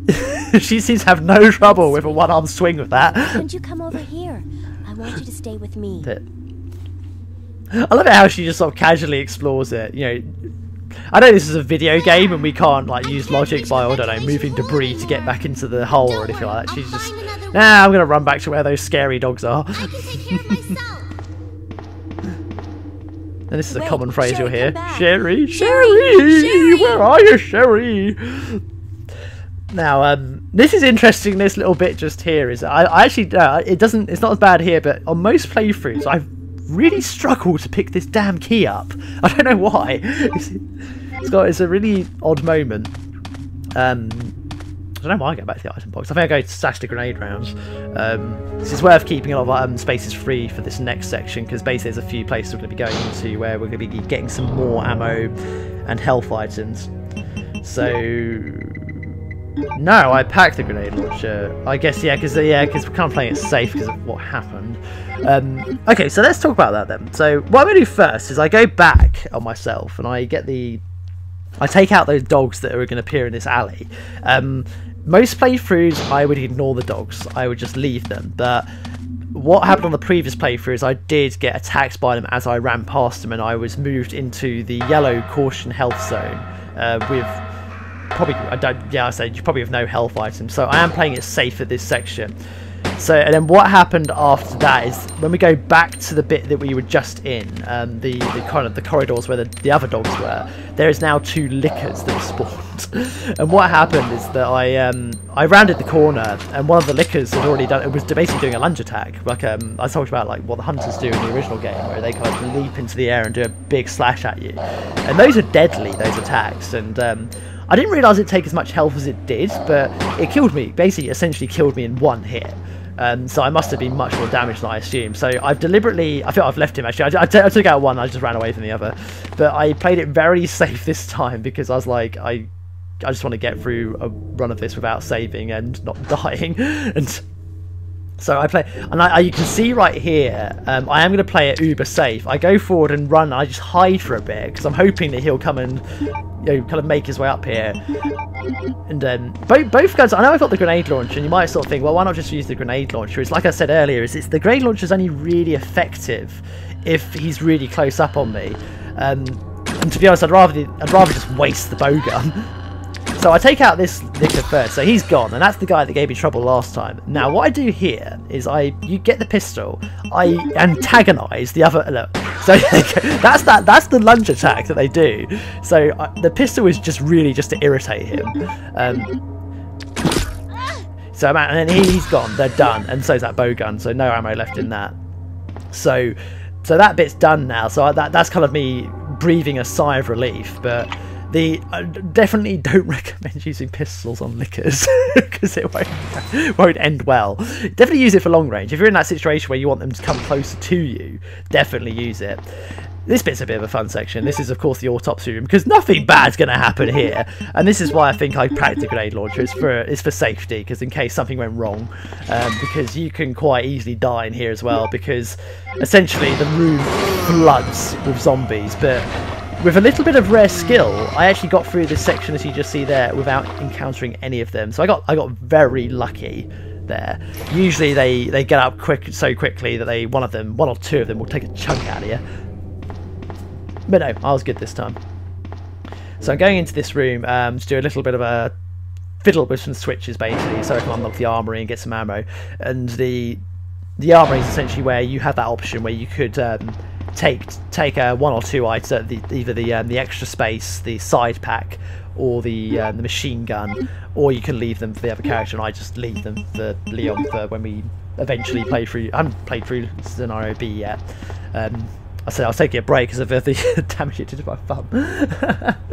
Not just that, I've also just been I've just been very busy. I just haven't had a time. Um, I'm one of those folks where uh, yeah, you can't do it. No, to, when you're doing a no save playthrough, you do need to commit. Um, probably have about two hours to spare, and um, having gaming sessions with two hours to spare are quite uncommon for me at the moment. Um, which is probably why I do warm to using get well playing games like um, well, if I do play games on the consoles, I play stuff that's quick and easy or that you can save quite actively at. Um, whereas I'm I'm adoring systems like the Switch where I simply can just stand by everything. I can everything's on standby mode, so I can stop whatever I'm doing to um, jump on the you know deal with emergencies or calls or anything like that. It's um, yeah, it's uh, it's interesting how life changes really, and it's uh, yeah, it's just it's just how things are at the moment, really, isn't it? Maybe maybe things will change in the future. Maybe they won't. You know, uh, the the way my kind of gaming habits are these days is I'm kind of more of a Switch player and a portable player. It's funny because you know I I, I was so that I should just say quickly that armory there is the way you could it, one of the lockers in the back is where you could get the one of the one of the two items, but yeah, I kind of got the Switch for its portability and for that for gaming on the go, but I've kind of been treating it as a home console. I I'm just I'm terrified of taking that um, um, out of me in case it gets stolen or something like that. I don't know. I'm one, I'm one of those weird people like that, but you know. it's not exactly a cheap. It's not a cheap portable, is it? Um, yeah, yeah. I'm not never afraid to take my 3ds or my PSPs around and out with me. Um, but I usually carry one system at a time. Um, uh, but yeah, but maybe that'll change in the future. You know, probably I'll start taking the Switch out of me. I don't know. I just, I, I guess it's the stigma, isn't it? I'm worried what people might think when they see you plop a Switch on a table and start playing. Some people are much braver than I am, where they have, they have no, they don't mind. They're not bothered, are they? But um, I, I'm one of those folks that I've always uh, gaming's always had to be kind of like a closet thing, really, where you know you don't tell people you're a gamer because you get that get that weird look people give you. Um, like I said, this is just uh, my experience. I don't know why I bothered combining ammo to the bow gun. I'm never going to use it. Um, I keep looking at the lockers because I assume that there's more ammo in them. That usually is, but for some reason there's not. But I, I don't half double check. Yeah, I mean, I'm I'm still I'm people that people only know that I'm a guy guy that does video games that I'm close to, good close friends, and um, online people online, of course, and um, that's it. Nobody from work knows I'm of do this sort of stuff. Um, not the types that would probably be okay. It was interesting actually because it's a bit like when um, when you're younger, you meet, and even one of my, my bestest friends to this day, uh, who, who I met at university, you, when you find that person that you're able to kind of talk about video games with, you tend to like, you, you both go, in your little fanboy corner, don't you? And um, yeah, you, you, you chat, you get all excited about talking about video games, and then when you're go into other social situations, when you go down to bar obviously you just you just shut down, you lock lock all that conversation down, and just talk about other things, don't you? oh yeah, girls and stuff and uh, manly things. I don't know. I'm trying to think what my university days were like. Oh, probably just alcohol. Don't think we really had any, that much intellectual conversations, but well, not, not, that you need to. You don't have to have intellectual conversations. I don't know, but we didn't talk video games. That's all. I'm, that's what I'm trying to say. Um, so I'm going back to the uh, item box just to get the. So we got all the items. Uh, basically, well, we no, no. We sorry. Um, let's backtrack. I need the lighter, basically, the lighter for the final um, puzzle that we need to do. Um, and also so I can just stash loads of this stuff. So I'm going to get the um, the half of the key item and get rid of the bowgun forever. Never use it again. Yeah, I need the crank too. Uh, and I think that because obviously the handy thing is is once that club key is used, it'll be discarded. Never need that again. And then then we're done with the police station. It was all over. And it's weird because it, you, do you do have to go through the entire kind of police station segment before you even um, encounter kind of like kind of like a main main boss encounter really. And then the the boss fights after that do kind of come fairly thick and fast, um, which we're going to see because we're yeah because we're, we're we're way in now and we've got less than an hour left really. So we're not even out of the police station yet. Shows you how quick the second half is. Um, so yeah, we're going back to that kind of uh, area where we had the licker jump through, jump through the window. And this uh, this does get interesting in scenario B because uh, scenario B, as I kind of hinted at, you've got uh, Mr. X is chasing you, which is basically like a, an early prototype of the idea of Nemesis, where he'll just randomly appear, but in um. It's a bit more. It feels much, much more scripted in Resident Evil 2. Like he, he really only appears at very set points in the game. Whereas, even though it is still quite scripted in Resident Evil 3, it sometimes comes across as more random. One more licker left, and we're going to just grenade it. Take that fella out.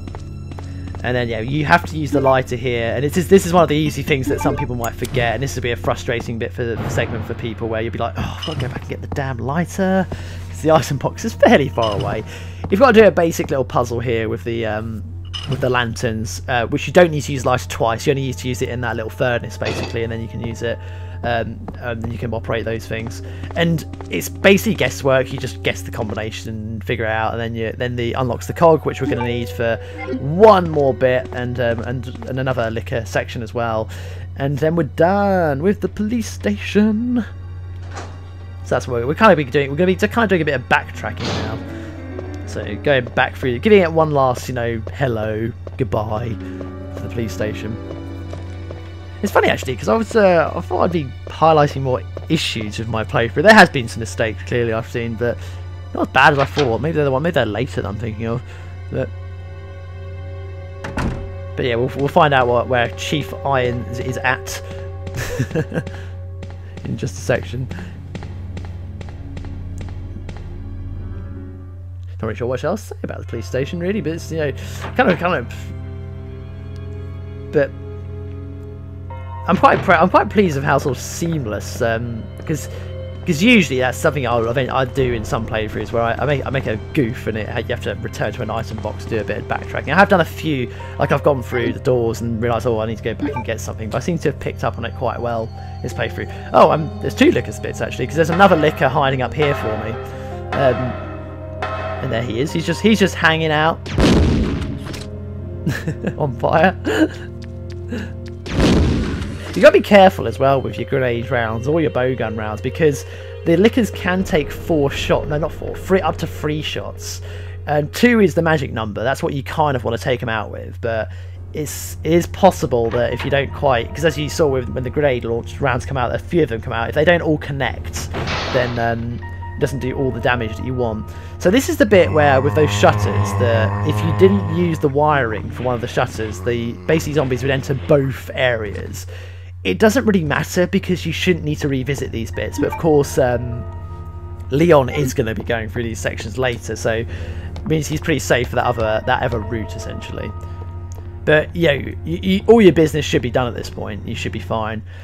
Um, so you shouldn't you shouldn't need to go back to those areas for any reason because they're out of the sort of the the key routes direction. So there's one more licker here. He's a bit of a fiddly one because he's on the he starts long range again.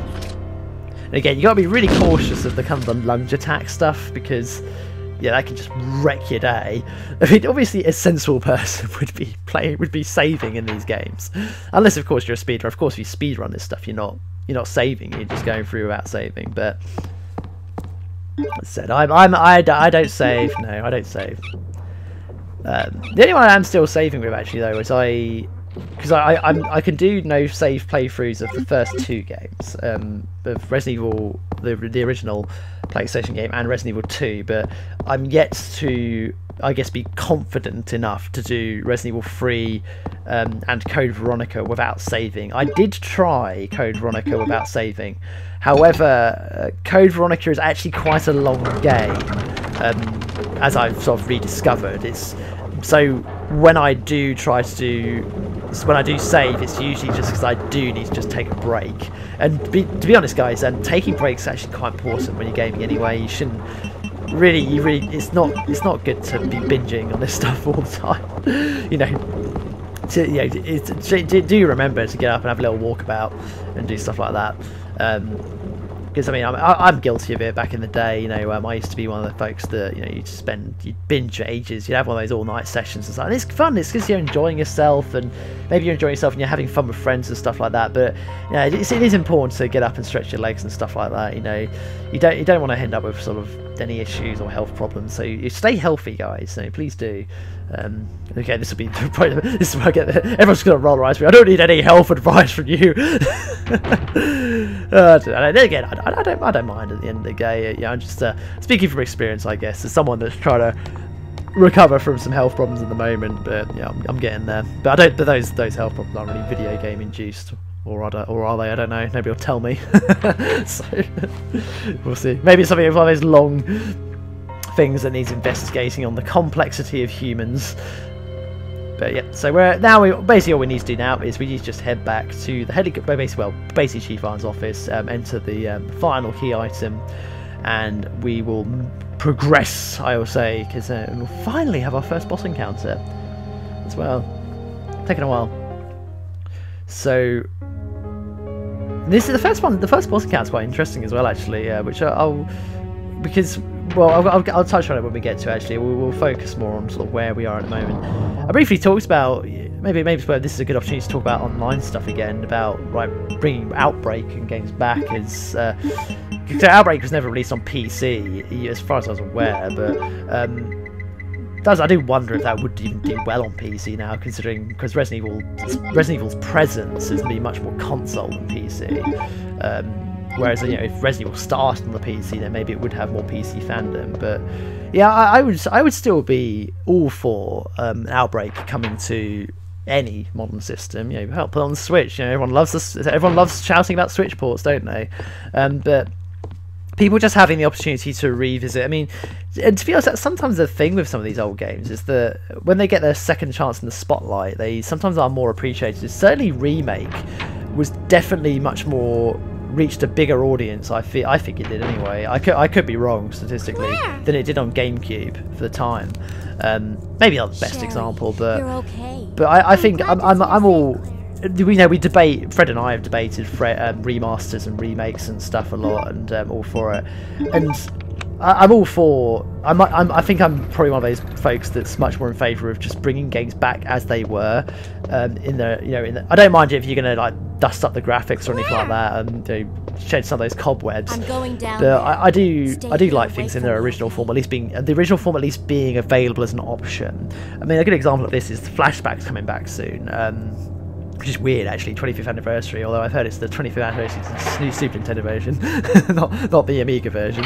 Um, so that version is coming to Switch uh, this summer, I guess. Uh, it's got like a it's, it's the original version it's the original 2d version and what most people probably say is the best version still compared to the the remake that happened from ubisoft um but they're kind of doing like a, a redone version of the 2d version where i think it's supposed to be a bit easier the graphics are cleaner but what's great about the version is of course they do have it in its original vanilla form if you want to play it. So it, it suits both the purists and it suits maybe new folk that are coming to it too.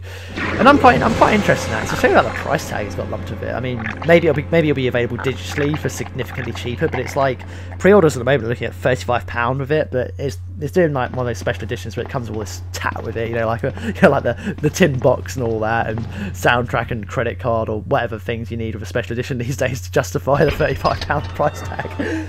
Um and don't get me wrong, I love, I do like physical editions. Still, I'm still all about physical versions, especially for games I like. I mean, I'm, I'm, I'm, I'm, I want to get the um, physical version of Wonder Boy: The Dragon's Trap for Switch. Um, I have it on the Xbox One, but I bad, quite like a girl. physical version just because I'm quite, I have a huge, huge soft spot for Wonder Boy. Everyone's gonna die. So this is um Chief Irons has now lost it. Calm not, well, not that he's not lost it before. You saw him just during my little ramble then that he got implanted with um, a little worm, I guess, into his um, into his body, and now he's very angry at Claire, and um, he feels betrayed, of course, by by Umbrella. Um, So it's true. I love uh, Claire's tone here. Then you must know about the G What- virus. what is it? What Tell is me, it? Tell me. Lovely, lovely, uh, just brilliant old um, horror tropes of like just of uh, people t- people telling t- telling all their all their mighty plan and what's going on before something terrible happens to them, as we're going to see with Chief Irons in a second. William Birkin. The- I'm sure. yeah, basically, yeah, yeah. Chief Irons, as which you find out from reading the documents. I didn't pick it up. But, um, there's a he leaves his diary and it tells about his like, you know, being he's he's basically he's he's with he's not with Umbrella, but you know he's he's not he's working with them essentially, and um, he's he's corrupt basically. It's- That's that's he's corrupt. That's it. it's quite quite straightforward, but Umbrella must be trying to cover its but he's basically just giving a bit more of a monologue about that now. I'm going to take you with me. But before he can take Claire with him, something horrible happens to him, and we get quite a satisfying, gory death right here. Kaboom! Poor Irons. That's like that's quite fast, you know. It's very inconsistent with these kind of transformations because he got implanted very not too long ago, really, and then that that chest burst happens very quickly, a bit like um, Alien Covenant, which saw, which I saw recently. um, yeah, less said about that movie, the better just my opinion. But um, yeah, but so anyway, but as I, I, don't, I don't think I mentioned, but Sherry gets implanted later, and it seems to take forever for her to. Maybe it's her being young or something. I don't know. We'll see. So anyway, that and then quickly that thing that escaped him transforms in what seems like a couple of seconds. really quickly, really fast. So very inconsistent. It- This moves quicker than Alien Covenant too. So this is the. Um, I guess the what what Chief Irons gave birth to, and it's like a mini tyrant, mini tyrant that is um, vomiting out more parasites, I guess. I don't know. That straight away, that some of those parasites will latch onto Claire. And as you've already seen, I've got the the um, chemical rounds out already. Um, chemical rounds are basically the best things to use. I'm being a bit cautious here as well, as you'll see, because I'm trying to look for that. Basically, look that the, the monster's gone down and look for that satisfying green blood stain around him. because what can happen here is basically what you're supposed to do is you ask you have to defeat the monster. You have to defeat him but you can run away so you can backtrack and go back. Um, and he won't be dead. He'll still be there to advance the section you have to take out the monster so you can go backwards which i'm doing now to go get sherry and advance the plot essentially otherwise um, the monster what can happen is you can start shooting the monster think he's dead because he's lumped on the floor and then go and he's not, and then you go back and he's alive again. You got to take him out again, and I think possibly he's in full health as well. Um, but so it's a, it's a bit of a you got to be a bit cautious. He's not too hard, especially with Claire's chemical rounds. With Leon, I think you have the Magnum at this stage, so yeah, Magnum him, use the Magnum on him. Um, but fairly straightforward. The only things that are a pain in the backside are those little parasites because they yeah they latch onto you and they basically just just more of an irritation, but they don't kill you. Um, but I guess they can if you're on low health. But Claire, you came back. I can't believe the man who developed the G virus is Can't believe he's the father. And then, as we'll see, uh, so if you thought the escort mission in uh, Resident Evil 4 was bad, you've not seen anything yet But I think because. I found a way out of here. Because as you remember, when I played the Sherry, she's not the fastest runner. Just make it So when. Sherry is following you, um, as you're running away, she will um, quite literally have a tantrum. And she'll kind of go into like a little fetal position and just, well, she doesn't have a tantrum really, but you know, she she stop in her tracks and just basically curl up in a ball until you go back and rescue her. And it's quite so she does. She's not. She's got to kind of like pace yourself a bit. You can't run It'll be all right. just like run like crazy, We found a way unfortunately, which is what you'd want to do. So you got to kind of stagger your movement. I think I try and do that, but I think there is a few moments you'll see Sherry get a, bit, a little upset with with Claire. Um, it's all good fun though. So we're done with the police station finally. I can't. It's it's quite fascinating because we're like it's an hour and a half. I think we've gone in so far, and um, here we are really. And it, it feels like there's not a lot to go. So but yeah, the, the, the sewer's fun though. I mean, what what? Well, I'll, I'll touch on it when we get to. I'm not going to spoil what that that fun moment, but um, but uh, the game, and as I mentioned, is now a lot more forward moving. So it's there's there is obviously little icks and bits of backtracking and potential irritations if you don't pick up the right item in advance. Uh, particularly, so one um, pro tip. Pro tips, guys. Um, sewers have your valve ready. So have that equipped, and for two reasons too, actually. Um, so we're going to enter the sewers, and we're going to get a. Oh no, we're not yet. No, so we're nearly entering the series. We're kind of getting there. So yeah, Sherry, I'm doing a pretty good job of keeping Sherry under control there, so she's following nicely behind. So that basically, if you did the boss fight, and you go straight for the ladder. Claire will say, "Oh, I need to go back for Sherry." Um, I think if the monster's still alive, she says there's still monsters present or something. At least I remember that from one of the Resident Evil games. Um, because there are sort of like areas of Resident Evil games where yeah you have to defeat the monster in said room. So we get a good full shot of old William Birkin in his oh, kind of like early transformed form with the with the big old eye, which we saw earlier, and so you know we're getting into, getting into that lovely sewage sludge. Never mind the smell. Run! yeah, and, and William doesn't want to break the laws of the balcony, so he doesn't want to come over that balcony and get us. He just he's gonna be civil this time and just you know just come at, come at us at our own pace. so this bit's fun. Um, here we go. This is the final section where we take control of Sherry. Um, so Sherry is going to get got by the um, by the mysteries of the mysteries of the sewer, and it just seems like a whoop moment, and Claire's just like, huh? Sherry, where are you? Yeah, I'm right here. So Claire doesn't like, you know, she doesn't squeeze in and follow after her. Doesn't get, she doesn't get, doesn't get into that sewer water. Maybe that's for the best, actually. After all, yeah, it's goodness knows what's in this sewer water. Um, yeah, now you're about, so now I'm controlling a Sherry again. Fortunately, um, maybe fortunately for the last time. Uh, and there's not really much to this bit with Sherry. All you really do need to do is just go from room to room. You don't need to pick up anything, although kind of to end the section you have to pick up one item. Um, so you just go into the vent. The only possible trouble you're going to have is in this little section just here. which is uh, the cockroaches. The yes, the lovely cockroaches of Resident Evil, which, as far as I'm aware, I don't think they do any damage. They are just a massive nuisance. So once they get latched onto you, you just have to do the old, you know, rapidly press your buttons to get them off you. That that section just there though can sometimes take a while. Like you know, you get five or six cockroaches latched onto you. It's a real, just a pain more than anything.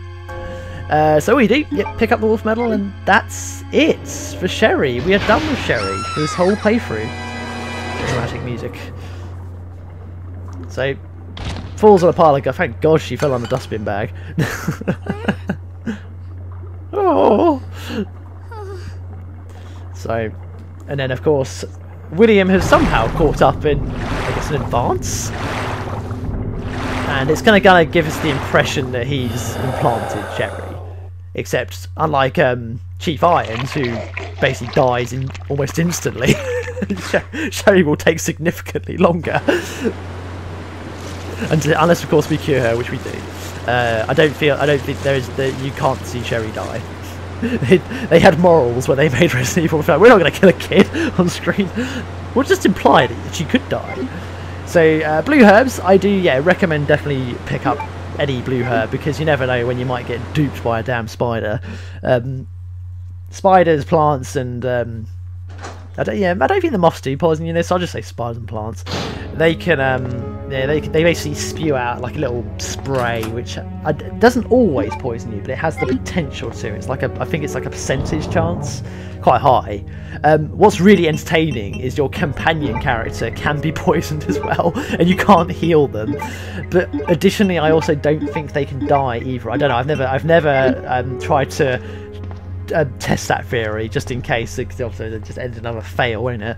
Um, the reason I've seen this happen is that Ada, um, who uh, who follows Leon about in this sewer section, I somehow managed to get her poisoned by a spider, and then she did the, the animation where she's holding her abdomen, which implies that she's been poisoned. so, so obviously I was a little bit panicked, thinking we need to really run through this next section so she doesn't die. But um, with Sherry, she doesn't have any damage indication on her body. If she gets hurt, you don't know, um, which is a, which is a little bit scary. But I don't know if you can kill your support characters. Um, at least when you when they're when they're following you, at least anyway. So I've just gone into the uh, the back room where Sherry literally just was, just to pick up some more grenade ammo. I go through the wrong bloody door. Um, I go through that door for some reason when I should just gone up the ladder. And this this just takes you into that room where Sherry started, where there's nothing here basically. So it's a waste of time. Um, so there's a mistake I've made. so we're going back to the storeroom. There's quite a few items in that storeroom too. Um, in the bag there's some ammo. In the locker there's a, health spray. Um, what you should do at this section, I, I, believe I forget to do it. So that's why I, I go down the elevator and go up the elevator this may be the playthrough where I do it three times, I think, because I'm just having one of those moments where I'm thinking, oh! So yeah, I'm pretty sure I don't have the valve with me, and I, I realised this quite quickly. Um, so yeah, because you'll need the valve to do another puzzle. Well, not really. It's not even really a puzzle. You just need to use the valve. So yeah, I have realised this because I'm already trying to turn around and to, to go back. Although I don't think this is where i am pretty sure I do this a few times by accident. So I'm going to go back to, as you're going to see, I'm going to go back to the item box and pick up something that I think I need um, for the next section. So we're going to see it here. Um, I'm pretty sure it's not the valve. so here we go. Let's see. So this is where you can see, uh, yeah, I, I, think I just need to put the grenade launcher bag. I don't need the valve, which is clearly in the um, item box. So I go back down, of course. And I think I realise straight away, oh yeah, I'm supposed to pick up the valve. And the reason you want the valve is it just stops this tedious backtracking because what you'll do, you'll get you'll get to a um, section where you clearly know you need to use the valve, and then you're supposed to use it, uh, and then you obviously got to run all the way back and use it. So that's the second time I backtracked, and I think I do. I don't think I get the valve on this one either. I think it's the next time, or maybe I'm wrong. We'll see. So what's gonna what what item are we gonna take out? Oh no, I do. There we go. Got it. And then we're good to go. So we're good. so I do get the valve there. So we're all safe now. Now we can progress. That's a, that's another little sort of tip. There is um, have the valve ready for the sewer section. At least if you're certainly if you're a speed runny folk, this that you'll you'll want that in advance. Um, yeah, the back the backtracking is just a touch tedious, really, uh, for this bit because there's not really a lot to it. Otherwise, the section is actually quite small, really. Um, yeah, they, I don't really, don't really talk about maps really, but maps are scattered around the game. Um, you can, it's just a touch of a button just to look at the map, which comes in handy for first timers, of course. But if you get familiar with the game, you'll never use the maps at all. I was actually using the maps for Resident Evil 3 because I was um, I, I, got a bit stumped in the end section of that game again, thinking, oh, where do I go? How do I progress this stuff? So, trying to get myself re-familiar with that game. Um, I'm definitely at that stage, as I said earlier. I'm not quite to the point where I can do a no-save playthrough. Um, would like to, because that game, funny enough, people are crazy fast at that game. There's people that can that finish that game in well under so like 15 minutes on a playthrough. That's a pretty big game as well, because um, it's only replaying myself. Resident Evil 3 is surprisingly large actually when you re redo it for a game that was supposed to just be a spin-off title. Um, it essentially, to me, almost feels like combining um, scenarios A and B together, and maybe then some. Um, but I do feel it's definitely because it still kind of has retained a lot of that old school Resident Evil design. Once you get more familiar with it, yeah, I think you can blast through that game in a single playthrough. Absolutely. So here's a bit where we're going to pause for quite a while now. Um, so this is Annette, uh, who's Sherry's Sherry's mother, Another basically, um, who really likes Umbrella, guns, right? and or at least likes Plenty pointing guns at people. And to steal my husband's no idea really what um why she's just waddling around in random places. In this case, just turns up in the sewers and turns up in the lab, and um, so yeah, but again, plot points. um, so she's basically this section here is you'll either be playing as Claire, where Annette will tell the origins of William, or you'll play as Ada, and and Annette will tell Ada for some reason, even though she absolutely told her to go hates Ada, as you'll learn quite quickly. William will be after her. So you basically learn that right. you know, she instructed her It's been causing daughter to run away from Daddy, run to the police station rather than go with her. Yeah. So yeah, with this is um a nice little cutscene just here. Um, interesting note here actually, because uh, Fred and I, Voss and Matt played through Operation Raccoon City, and it's interesting viewing this again now, where they do recycle It's this same dialogue in that game when they kind of revisit this G-Virus. section in the first No level of Operation Raccoon City. Obviously, the design's just all over the place, and the door, the the sort of the the, the layout, because this is obviously a, a pre-rendered game, is. and the Operation Raccoon City is a full-fledged 3D come. game. The designs of the labs are completely We're here to different. But I guess one of those Sorry. soldiers is But I won't supposed to be Hunk. I never really, it's just to me, they're just look like generic um, derpy gas mask guy. So, of course, you know, William drops something, and the soldier's response is, of course, just to shoot the hell move out of him. so, and um, as you do when you're a mad scientist, you know, you're dying on the floor. The, the your first instinct is to, to of course, inject yourself with this taking care of virus. This bullet wound first. and, and then we have we have William Birkin, the monster, uh, begins to form. Alpha team, have you retrieved the sample yet? Affirmative. We'll be at the rendezvous point in one minute. Roger. But it's, it's obviously this this graphics has not aged well, but you know for the time it was quite interesting. It looked good. Certainly looks good with this, this on the GameCube. own I say it body? looks a bit nice. Looks a lot more smoother than The um. The original PlayStation version. revitalize cellular functions.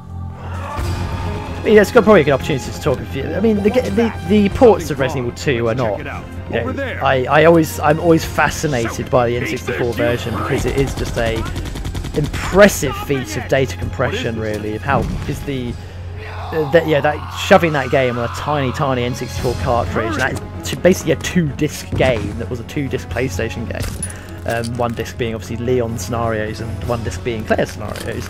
Um, it's, it's just thing? but then the GameCube one just has both scenarios on one disc. I think the Dreamcast one does it on two discs as well, actually. Um, could be wrong about that, but Son of a- when you when you go to the GameCube menus, it basically just asks you which stories you want to play, and then if you want to swap over, you go to the, the menu in the, the main menu, go to the options section, just ask choose play Cleon and Lair's story.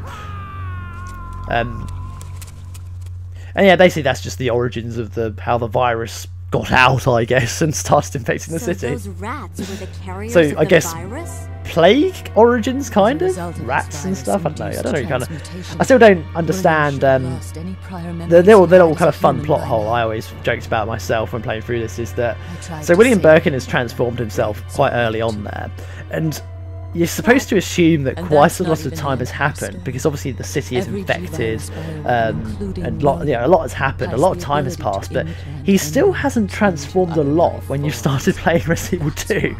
But yeah, as you'll progress, as we'll progress through this game, you'll see him transform really What are you fast. trying to say? And then, of course, someone will probably jump up and put their hand up and go, "Well, that's just how the virus works." non-human likely to reject the But you know. I don't mind poking fun at Resident. I'm, I'm a huge fan of this game, but I love to play fun at stuff, even stuff I like. Possibility is non-existent. It's an inherent But- survival instinct. Yeah, of course, yeah, yeah. Those those um those cutscenes you can skip on I think any It's version of the game, but with these in-game ones, way. you can't skip in most versions of the game. But you can in the GameCube, which is obviously handy if you're a speedrunner. Um, it's funny because you obviously heard Sc- Sherry screaming, and this is why you need the valve, guys. This is why the valve's here because you need to use it to lower the platform so you can progress. Otherwise, you need to go back. Um, and yeah, just, just pointless backtracking really but um, now this is a bit don't get duped by this as well this is just another pro tip and again for to avoid tedium is when you go across the bridge use the valve again in that same slot otherwise what's going to happen is you're going to have to backtrack and use the damn valve again so you can progress later so basically send it back up is what we're saying so let it go Although maybe it's not essential for Claire's one actually, because she does find both medals in uh, the same section. But basically, it's what I, I'd recommend. Uh, that's that's the, my recommendation. Um, definitely for Leon's, you do want to go that route. Uh, it's obviously an opportunity to pick up some health, and we've got a very very entertaining boss battle coming up in just a second, which. Um, you may you know some people who've played this game before who maybe play this boss battle differently um, might be thinking why on earth are you going in with a pistol? You're, you're a little bit ill-equipped for this boss battle. So and there's a big reason why um, for that is that this boss can be made very very easy uh, with just a little bit of exploration. So we're just basically going to go rescue Sherry now and you'll see you'll see precisely how to do this um, boss battle in a single handgun bullet um, so there it is. She is. She's. Uh, well, she still passed out, so I don't understand how she screamed. But you know, hey, we're not going to complain too much. Maybe it wasn't her that screamed. Maybe it was this. Uh, maybe it was the crocodile. so yeah, giant crocodile, giant zombie crocodile, um, whatever you want to call it, or infected um, T-virus crocodile. Because of course, you know, crocodiles, alligators are always in the sewers.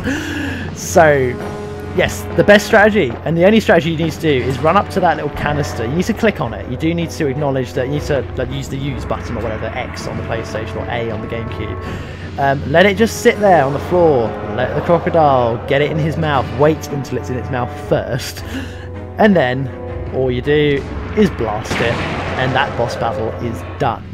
Now, if you don't do that, um, what you will have on your hands is an incredibly frustrating boss fight, um, which will require a lot of ammo and a, a very aggressive um, crocodile, which does take a lot. I did. I've tried it once.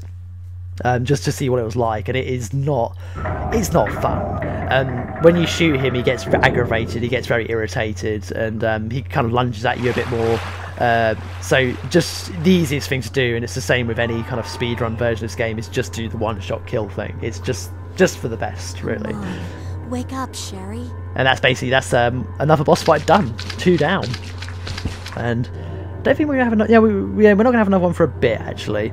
Uh, so I always found this section interesting because Claire's, of course, Stomach. That you've seen the embryo, I guess, leave Sherry, which I'm surprised. I thought that I was assuming the embryo just died when they let, well, they just entered it, they just stayed there.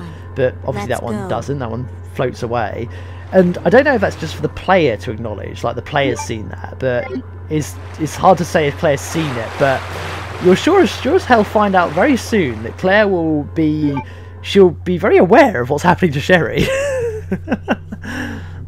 so so we're back, going back up the ladder. We've got one more wolf medal. To, it's not a wolf medal. We get another medal to collect just so we can progress through the sewers. Um, you're going to see Sherry do a deliberate tantrum in a second, so you are going to see her basically just dump on the floor there um, in a big ball. there you go. So. It doesn't matter though at this point because I've got to backtrack anyway to go back to another section, um, another one last valve puzzle. um, so there she is. She's in her little ball. So you gotta let you gotta get her to follow you. And I think we will see at least once or twice in this playthrough of her not wanting to follow me because I run too far ahead, basically. So yeah, use the valve bit there, um, and it will basically shut off the the vent so that you can go through, and gives you a little, little, little kind of a little shotgun cut back to the early section. And this also prevents me needing to go to any item boxes or anything like that, which is handy. So back up here, uh, in with Leon's section, there are just usually cockroaches here if you're running through here with Ada, but I don't think there's any when I play through this with um, Claire, um, which is handy because cockroaches are a pain. Yeah, so you see, yeah, Sherry uh, just for some reason just wants to walk that way, so I'm, I've got to go back and collect her before I can move on. so she has to be in kind of like a, a, a particular region there for you for her to follow you through to the next area, which is kind of annoying the strategy you want to do is you kind of want to pace yourself so that she's you're running but then you're stopping and you're running and you're stopping and you're running and you're stopping so it keeps kind of like an even pace to her run. So basically so sherry is always running is what you're aiming for. Fortunately though though it, it comes across like it might be frustrating, that she's like this and that she's difficult it's not for long really. You don't have to and and it's it doesn't really you don't really have to worry about her getting hurt like I said, this is the bit where I had Ada get poisoned. That spider dropped poison from the ceiling and it hit a it hit Ada. Um, it almost looks like it might have got Sherry then. The, usually they react to it. The the character you'll see a damn them them, them like lunch or something. They'll they'll sort of stagger a bit or something if something happens. Never had a support character get got by a zombie. Sherry can't just can't physically get get gets bitten from a zombie because they're just too high up. They just sprayed the kind of like the goo down at her. I don't think she did get. She, I don't think she did get got by poison. I think she was fine. I think when I played through this originally, I thought she had because of the. It, you saw you saw like the animation come from the ceiling then. But yeah, this is um, now we're just basically yeah we're done we're done with the sewers. We're done there, and we're just basically now moving on to the final segment of the game, which is the underground lab, and then that's it for the game. I'm still fascinated by this. We're nearly nearly two hours in now, and um, surprised also my voice is held up too. but yeah, I go looking around here because I think there's some arrow, but there's not. Um, so you just got to go and uh, turn on the the monorail. Monorail. Uh, so we can. Now there is an interesting bit to point out here actually, because now I was always under the impression that you had to have the lighter with you to get this uh, this item. But I found out from watching footage of other people play this game, speedrunners particularly, that you don't need um, the, the lighter. There's a section when you, you go through the monorail, you go by, by down, and there's a, a bit where you can light off a flare um, just here if you want to, but you'll need the lighter to do it with Claire. But and if you do that, it'll highlight an item. It'll, it'll, it'll, like ding. But you don't need that. You can just collect the item, which is really handy. So that's what I'm doing here. So this key, this weapon box key, is in the lab a lot later on. So Yep, and then Sherry has a tantrum, so I've got to go back and save her. So, and that's really handy. Definitely if you're um, first timer through the game as well, because it will contain grenade rounds, um, two sets of grenade rounds for Claire, and it will, contain, it will contain a weapon modification for Leon for the Magnum. Um, which is interesting because Claire doesn't have any weapon modifications in her playthrough, whereas Leon can upgrade the handgun, the shotgun, and the Magnum. Um, I guess maybe the way of thinking from the developer's point is that the the player has the grenade rounds maybe, and they're kind of more powerful. Um, this section I'm at going on going in here is where you'd find the upgrade for the shotgun for Leon, but with Claire they give her another item, which is an item that's quite important. So they're going to use it for the boss fight basically. Um, it's like a electric shotgun. It's kind of like a shotgun, really, is what it is. Is what it comes across, but it takes up two item slots. So I'm kicking it up now. So it's the spark shot. It, at least from my playthrough, it seems pretty useless for everything else. Um, it certainly it didn't seem to help me out at all with plants or anything when I tried to use it, but and it's certainly no good with um, zombies. It seems to be a waste of time really with zombies, but however with um, lickers it's pretty good with, but it's quite slow. So I, I think the only place it's worth using is this boss fight that I've got coming up, um, and then I did then I ditch it after that, and then I, I pretty much just ditch everything and just stick with the grenade. So this will be the last that I need the pistol for. I, I think I just use the pistol for the um, the zombies that are left here. Um, although zombies still appear in the lab section later, but I'm I'm confident with my grenade roundage that will be okay. Now you could go down the um, the other routes here, that, that up, and there'll be some herbs up there, but I just have no space left for them, and I don't see the need to go backtrack. I've got loads of health items.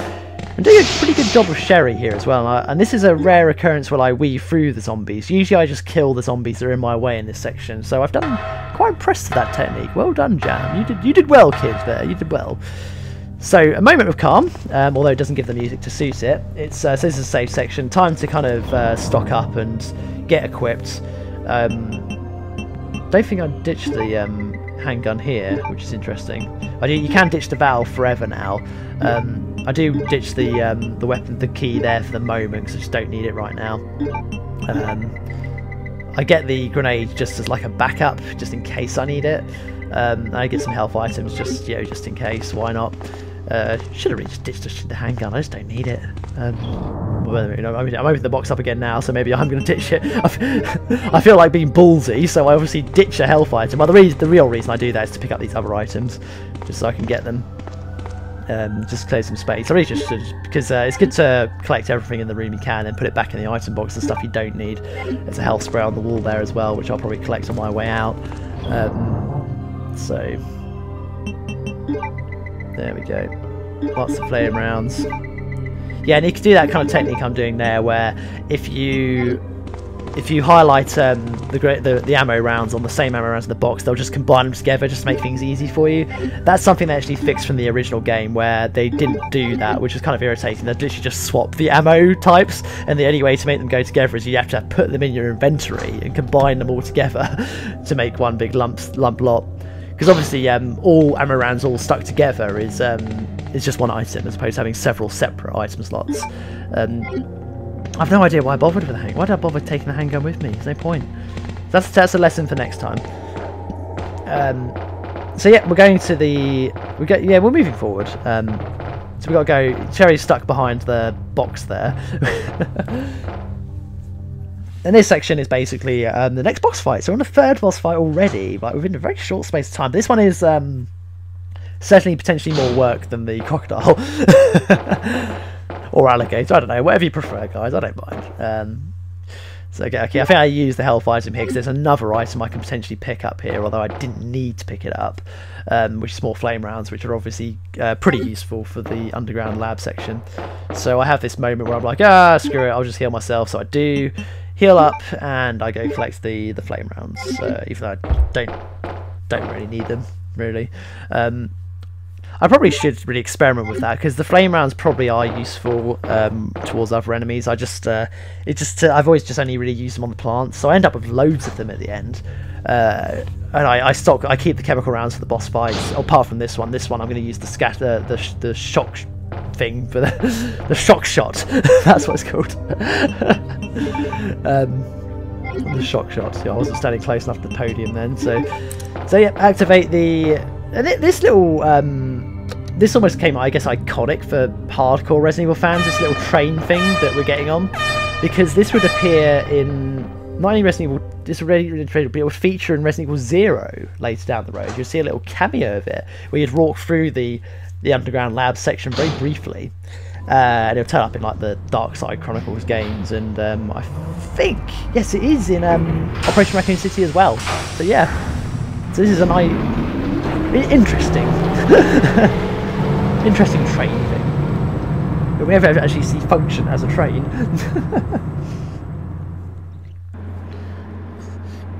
and of course, Sherry's stomach is, and rather than a, um, you know, just exploding in a horrible, gory mess in this um, in this interior, uh, Sherry just takes a nap. And so Claire, Claire instantly knows what the problem is. She is she's clued in. She has her doctorate in um, you know bioweapons that which have only just been created. So, so she knows that she's infected somehow, which again leads me to believe that cutscene later she must have seen the thing crawl out of her. But you know, she doesn't seem too bothered. She seems pretty confident she can find a cure that I don't think she knows exists yet.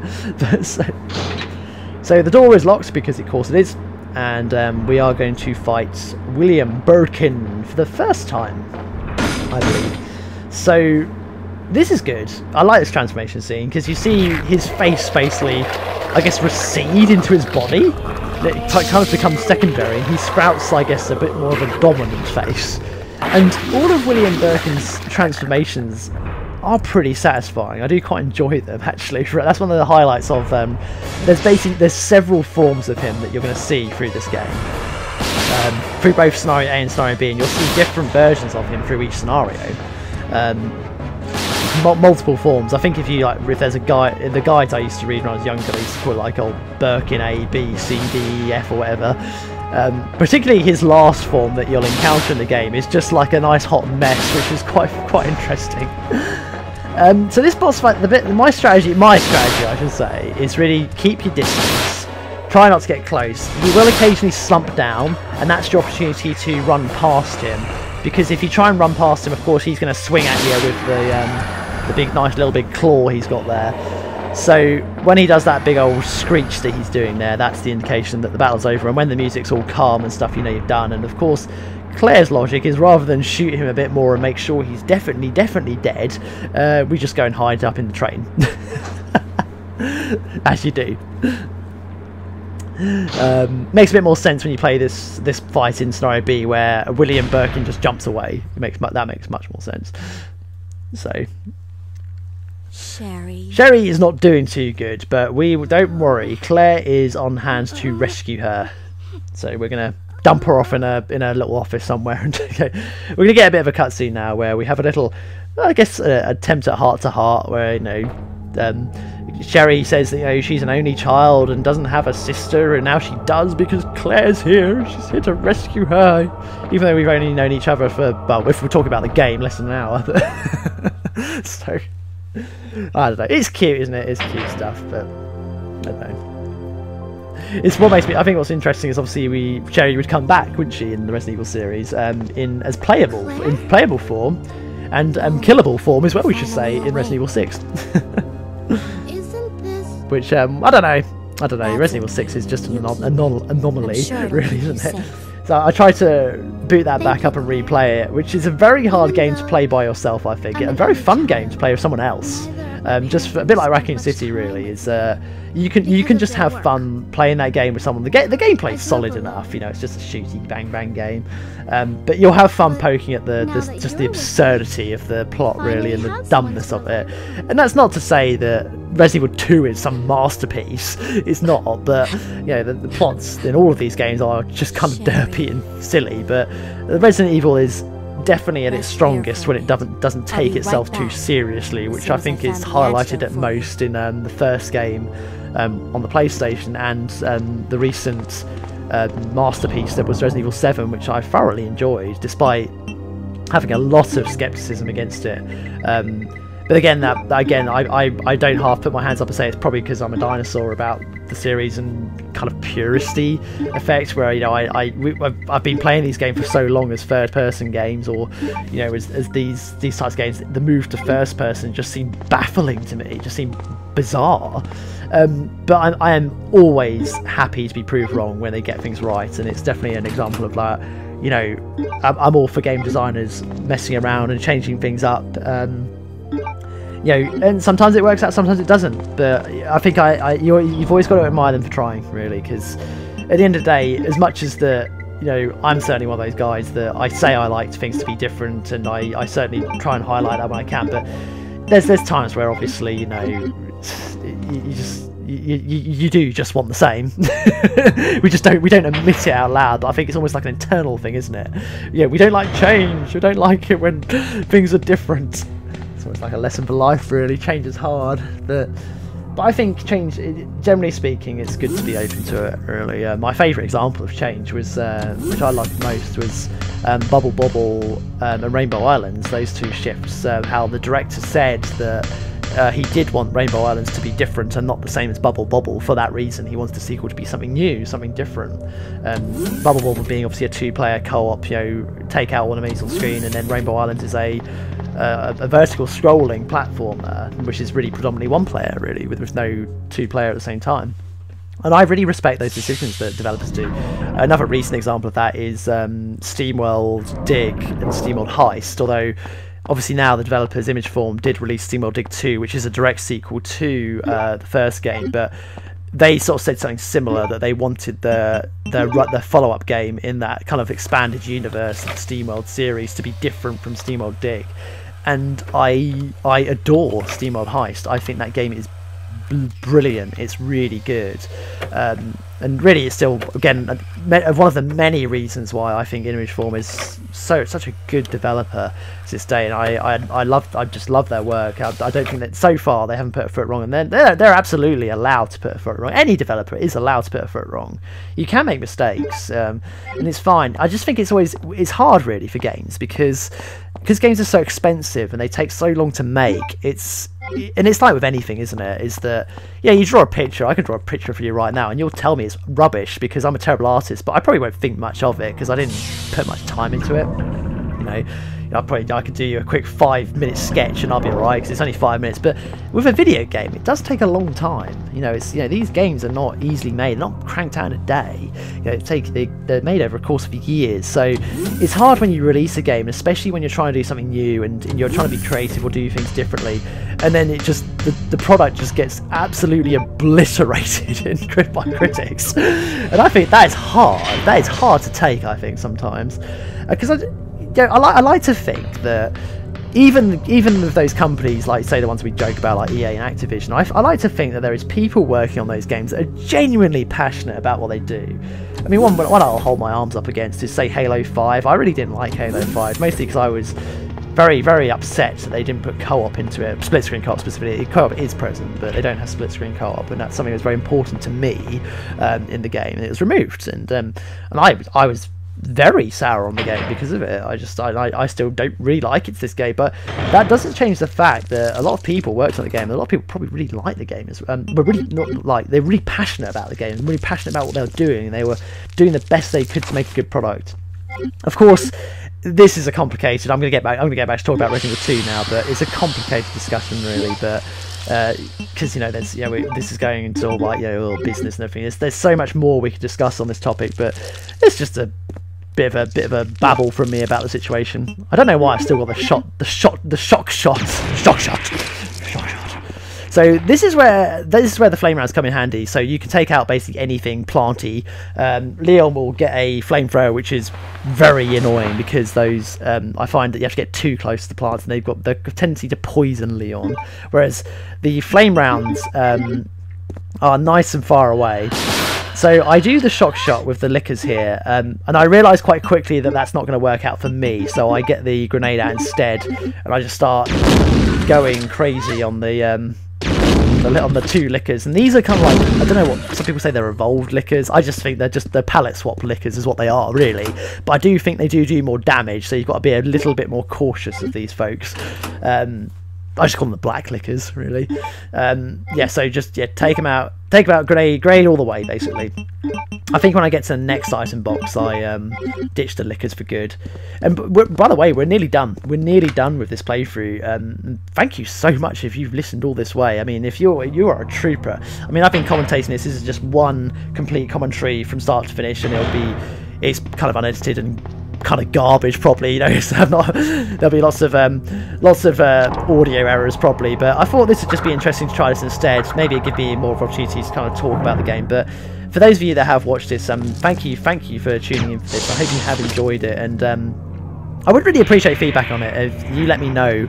Um, quite pleased with that performance then. I managed to take out both those plants in one hit with one flame round.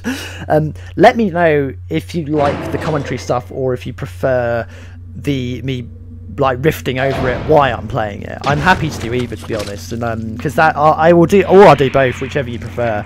Um, yeah, keep me posted. Um, let me know. Of course, this is a again, like I really praise you for watching this far because this is a slog for you guys. You know, taking time out of your precious schedules to watch me play Resident Evil 2, and um, and that's and, and good and thank thank you for doing that. But um, I don't blame you if this is taking you a few attempts to get through. Um, generally, what I'd like to try and do, and what I'll do forward forward, is I like to try and do more shorter videos, um, short, short and sweet, really, because I find those those videos are a bit more digestible. But just because it's been a while, um, I wanted to give you a big, nice lump one. I probably will do um, Leon B at some stage. That's probably not going to come straight away, but that'll come in the future. But if you know, if, if you guys are, if you're keen for it, I'll do it sooner rather than later. I'll probably do that the same as I've done this one, where I will. Um, riff on it later. I'll I'll, I'll do commentary over the top. However, if you want to have my shot for shot reaction as I'm playing through it, let me know. I'll see see what you folks say.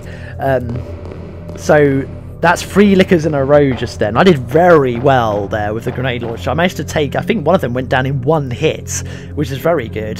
And um, the two that appear around the corner seem to go down very easily as well. So that's quite rare for me when that happens. So, yay.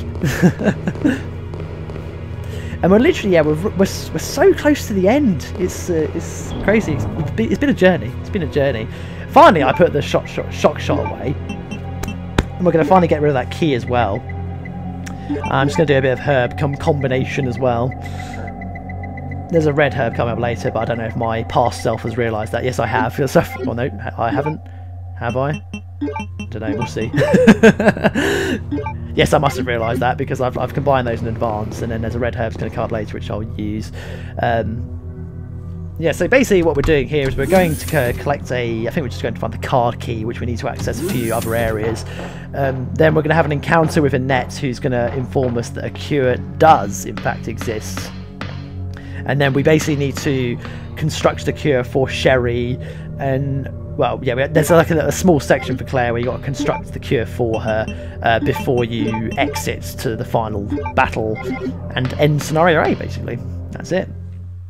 So now um, this is a bit of a fun section because now um, there's a few more zombies left to kill, and I am only packing a grenade launcher. so we're going to see a lot of debris, a lot of um, explosions, and I think it might be in this playthrough that I, I sort of realised that the best technique with uh, that that's obviously the the weapons locker there that we had stashed from stashed from earlier, but this is where I think I realised that the the best technique with the zombies because what's the problem the problem with the grenade launcher at least with the regular rounds of zombies is they have a tendency to they'll, they'll blow off their legs so they'll just be torsos like this one that one you saw there and then they'll crawl after you so it's kind of annoying um, so I think I did I think I should do this here now where I start to realise probably the best thing to do I did do it there, is to aim the grenade launcher up so that you're more likely to take up the top section as well why I only figured this out recently, because I, I knew this ages with Leon, that the best thing with the shotgun is to aim high and, take, and, it, and it just basically blows the head off in a very satisfying animation. Do I do it here? No, I don't. Maybe I did it. Again, who knows. So they're all on fire as well. Satisfying fires there.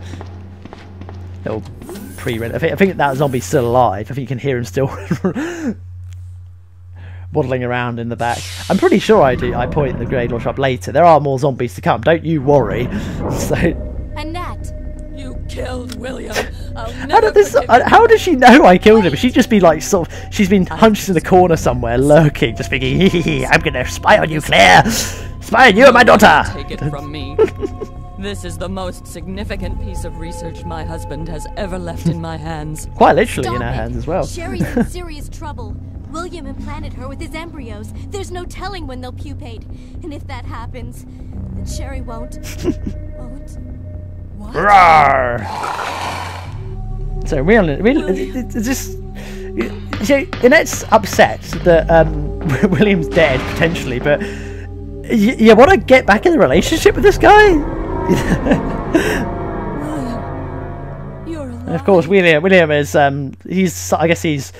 That's his message for he wants a divorce. I, I assume, or he just doesn't care because he's more monster than man now. This is kind of the. You know, this is the big sort of transformation. I like what I do here, where I um, go use the lab key. Um, in there, by the way, is a moth, which I don't need to bother with, but um, I might talk. I'll talk about that once we go on this next section. But um, it's so I can just use the, acknowledge the key's been used, so I can discard it for later when I use it on the other door, basically.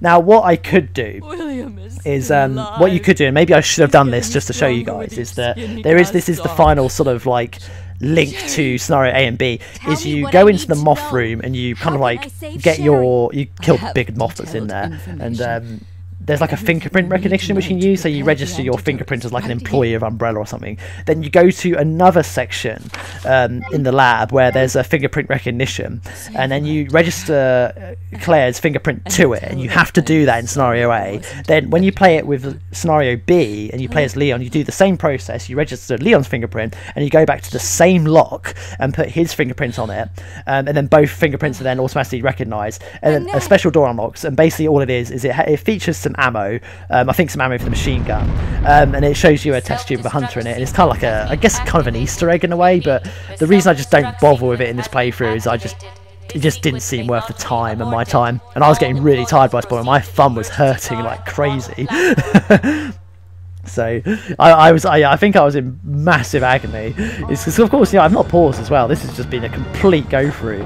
Um, so I, I didn't do that, but I might I might if if, if you guys are interested in re, if you want to replay through things, I'll do that just to show you. Um, so that, that could be something for later down the road. Um, I just don't think I don't you know it, it's not amazing. It's really not much in it. It's just it literally is it's a hunter in a test tube. It's like yeah oh well done you played Resident Evil One. so so this will be the final kind of, at least um, in in game anyway, until you get to the end where uh, Claire sees Leon, and of course you'll you'll know all about Leon's story with scenario B. Um, so she just gets on gets on the gets on the radio one last time to inform him, and then you'll you'll obviously hear about this conversation the other way around if you play the scenario. What where he is at the moment. What's rather entertaining actually is um, at this point in the game for Leon um, in scenario B, he's got um, let's just say he's got some bandages around him, which he conveniently doesn't have in this section. And also, surprisingly, something rather traumatic has just happened to Leon, but he's he seems he seems to have got over it very quickly. Um, yeah. Leon Leon um, gets stalked by Mr. X a lot. I still have a few loose ends to take care of. I'm He's a trooper, Leon. That's all. That's all we know. so here we go. Like, so that's kind of like this. So Claire. Now, the mission basically now is that Claire just needs to uh, create the vaccine for Sherry, and then we can enter the last section. Uh, the self-destruct system has been activated, of course. And depending on sort of your backtracking, this can get on your nerves quite a bit uh, with that hearing the lady in the background saying, "Oh, all employees, please evacuate." But the music kind of makes up for it, I guess. It is kind of epic and it's tense, and you know you're thinking, "Oh, you know, got to get through this," but but the timer won't sort of set off the actual, you know, the detonation timer won't set off until you get to the final encounter, which is a kind of a staple for the Resident Evil games, you know, or you know, you've got a limited time to, to get through this section. They try and put a bit of a remix on it when you get to Resident Evil 3 with that ending, but I think, yeah, maybe we should change it up a bit, but yeah, again, some things don't change. so we've got to go back to it's basically one more door where we've got to get the not only do we need to get the sort of the base vaccine and everything but we've got to get uh, the mo the mo disc. The mo disc which would um, be very important in the original resident evil if you want to get the good ending we have to find three of them to unlock um, the cell of whichever other character you didn't play as. So yeah again flame rounds as well. Just they just make the job easy. One shot to those plant creatures. If you play um, Fourth Survivor, which is the scenario that's unlocked when you play through scenario A and B, and you get to play through as Hunk basically in a special scenario where he's got to basically get the G virus to Umbrella or something. Um, that's bloody hard, and you don't have any fire um, fiery weapons, and the the plants appear in that sort of like slog through the police station to get to the end, and they're in narrow corridors. So you've got a choice of either take him out with a handgun, a shotgun, and a magnum, all of which are equally crap against against the plants. but maybe I'll do that playthrough one day. But and then uh, yeah, I mean one joke I was thinking of doing because I, I I die so much in that playthrough. Then you do a fun montage of how many times I fail. Um, they're probably always at the same section now, I'd imagine. Damn plants. Uh, so yeah, and as you can see. Um, I've got plenty of ammo. I'm doing okay, and I, I, I didn't need to be as cautious as I have been. Um, tons of fire ammo. Um, I don't think that zombie's dead. No, he's not dead. God, yeah, he, he's a trooper. He just took a full grenade launcher there. And then, do I realise it here? Is this where I realise I should aim it up? I don't think I do still. I think maybe it's not till the end bit where I see those last zombies. So, yeah, I've got to turn on the machine. If we do. And then you, you collect you use the bait use the um, sort of the base vaccine or something to get it get the thing the, the vaccine cart there you go get it spinning and then you get obviously get the mo disc as well yeah oh yeah he, he just he just had to go nibbling at me but Claire does a nice good old kick so there we go and then we just get get that vaccine working and then we go collect it and then we've got collectors. I think is it the that's the yeah, that'll be the MO disc there, won't it? So we need the MO disc to obviously access the final um, area. And really now it's just a slog to the end. Um, just got to go back to that room where those zombies were before, where I collected the key, and um, then we do one more boss fight. And then this is what I have to say for me when I do these no save playthroughs. The this is where my my heart starts to race a bit, and I get a bit a bit tense and a bit protective. What you'll see me do is you'll see me um, stock up on health items quite a bit because I do start to panic, especially if you're playing this without saving. Um, that's kind of, that's kind of all the whole risky thing. because the the last boss fight is essentially like equivalent of say like a tyrant fight. I mean, I'll spoil it now. It's just Willi- it's William transformed again essentially, and um, he's deadly. He's pretty deadly in one of his forms, um, and you can die incredibly easily if you don't if you don't if you're not careful. And that's the thing with some of these really big boss battles is that you know a good three swipes at you, uh, maybe two in some cases, and you're done. Know, so you got to be careful. Sometimes even if you are, even though I I stock up on the health items, and sometimes it's not always that helpful. So you got to be um, be quick on the menu button, quick on that menu button to heal when you need to. Um, the thing to be aware of, though, unfortunately, which does happen, and has happened to me, is if they've already sort of started the the I guess you would call it like their kill attack or like their deadly attack, which would finish you off and give you this sort of satisfying "you're dead" sort of game over screen. Um, if they've already started that, regardless if you've gone into the menu, then you're stuffed either way, even if you've got full health. Um, so that's kind of annoying. So you want to yeah try and avoid that if you can. The only way that I think they, they do do that sort of like and certainly hunters in the original game. The only reason they'll start doing that in the first place um, is if you're in the red. Um, but you basically don't want to be doing that, doing or getting in that process. So I think this bit here is where I finally point the gun up. Yeah, there we go. I come to the sudden realization that maybe pointing the gun up will be the most effective. Don't know why I start picking those herbs. So I take out these. Uh, these are the naked zombies. Because you know we've got to have naked zombies in the Umbrella Lab. Now I do. This is the the last door to get to the end, and I do use the mo disc. The the, the, the what did I say? The no, the mo disc just to unlock it. But obviously don't go through yet. You can't. I, I don't believe you can through. I've never actually tried actually, but I imagine it would say I've got probably say, "I gotta go, go kill Sherry. You gotta save her." Otherwise you get you know they give you got the bad ending maybe where Sherry dies. But that'd be quite. It'd be interesting if they did that. Yeah, maybe you forgot. Maybe you just forgot to do the vaccine. It just says, Claire, you're stupid. I don't feel actually though. I'm pretty sure the game won't allow you because you're still, even though the um, the alarms are going off and everything, um, you can't go further. You can't progress. Um, and there's no timer or anything like that. You're still safe here. You can you can hang around for as long as you want uh, until you've done like the next critical section. You, you're good basically.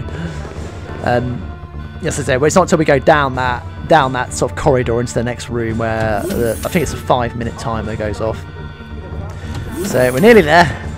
So Annette's still just yeah, she's just hanging out.